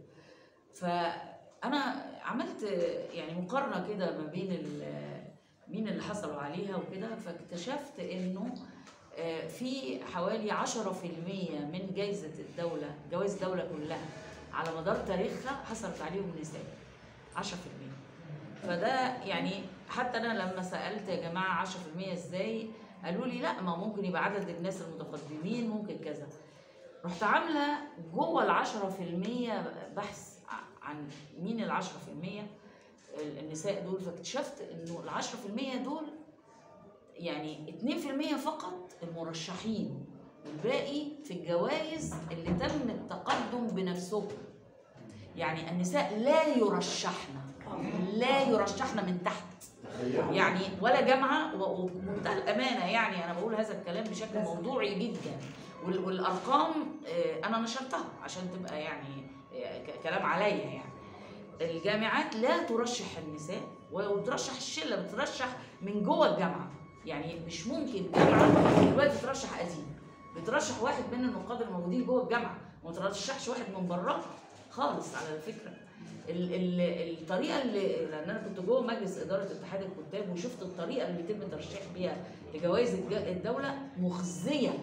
لأنه هم يعني معلش المسيطر على اتحاد الكتاب هم كتاب آه الأقاليم باعتبارها انتخابات قايمة على الأندية بتاعت الأقاليم. عصبيات. ف- فبيرشحوا الناس. مصالح. آه، مصالح. أنا عايزة أقول لكم إن أنا سألت سؤال وهم بيرشحوا باعتباري جوه مجلس الإدارة. قلت طب أنتوا مش ملاحظين إن طول السنين اللي فاتت ترشحاتكم لا تقبل آه، إجابة؟ يعني ما حصلش إن أنتوا رشحتوا حد وخدها. طب يعني غيروا شوية وقرروا أنتوا كلكم على بعض ترشحوا شخص يمكن قبوله يعني مستوى اديب يمكن قبوله ويبقى اسمه اتحاد الكتاب. فرفضوا. رفضوا. ورشحوا الناس اللي هيخسروا برضه. لأنه لأنها هي بالدور يعني وهكذا نادي القصة وهكذا نادي الأدب وهكذا اتelier أنا مش عارفة الوضع بالظبط إيه لكن أسوأ يا- لكن لكن الوضع أنا بس عشان ما يعني مانيش متأكدة فأنا بقول اللي أنا شفته. اللي أنا عايزة أقوله إنها إنها كارثة فعلا. وإن وإن أنا نفسي عملت محاولات مع وزيرة الثقافة الحالية لما لأنها هي اللي كان في عهدها حكاية ال ال ال الكتاب اللي طلع بال- بالأرقام دي. والست قالت أنا موافقة إن إحنا نغير القانون. قلت لها مفيش حل غير تغيير القانون. إن يبقى في إجبار ان يبقى في إن النساء يتقدمن بأنفسهن بعد بعد جائزه الدولة لل لل للتفوق. لا التفوق ممكن تقدمه فعلى فكرة تمت الموافقة على هذا وجابوا الراجل المستشار القانوني وعملوا الكلام ده ثم دخل ده الأدراج وانتهى الموضوع. وحاجات كتير أنا يعني شايفة إن الندوة يعني كفاية عليها كده يعني. أنا سعيدة جدا. سعيدة فعلا بوجودي سعيدة بكل الآراء اللي اتقالت. والحقيقة كمان يعني لقيت عندي فعلا حكايات لسه عايزة تتكتب. أنا ما عنديش حاجة تانية. يعني يعني يعني أنا ما يعني مع احترامي لكل النقاد ما عنديش والبنية وما بعد الحداثة وال... أنا كل ما أملكه في الحياة هو الحكايات. وهو ما ي- ما ي- يعني ويتبقى في الذاكرة ما يستحق أن يكتب. متشكرة جدا.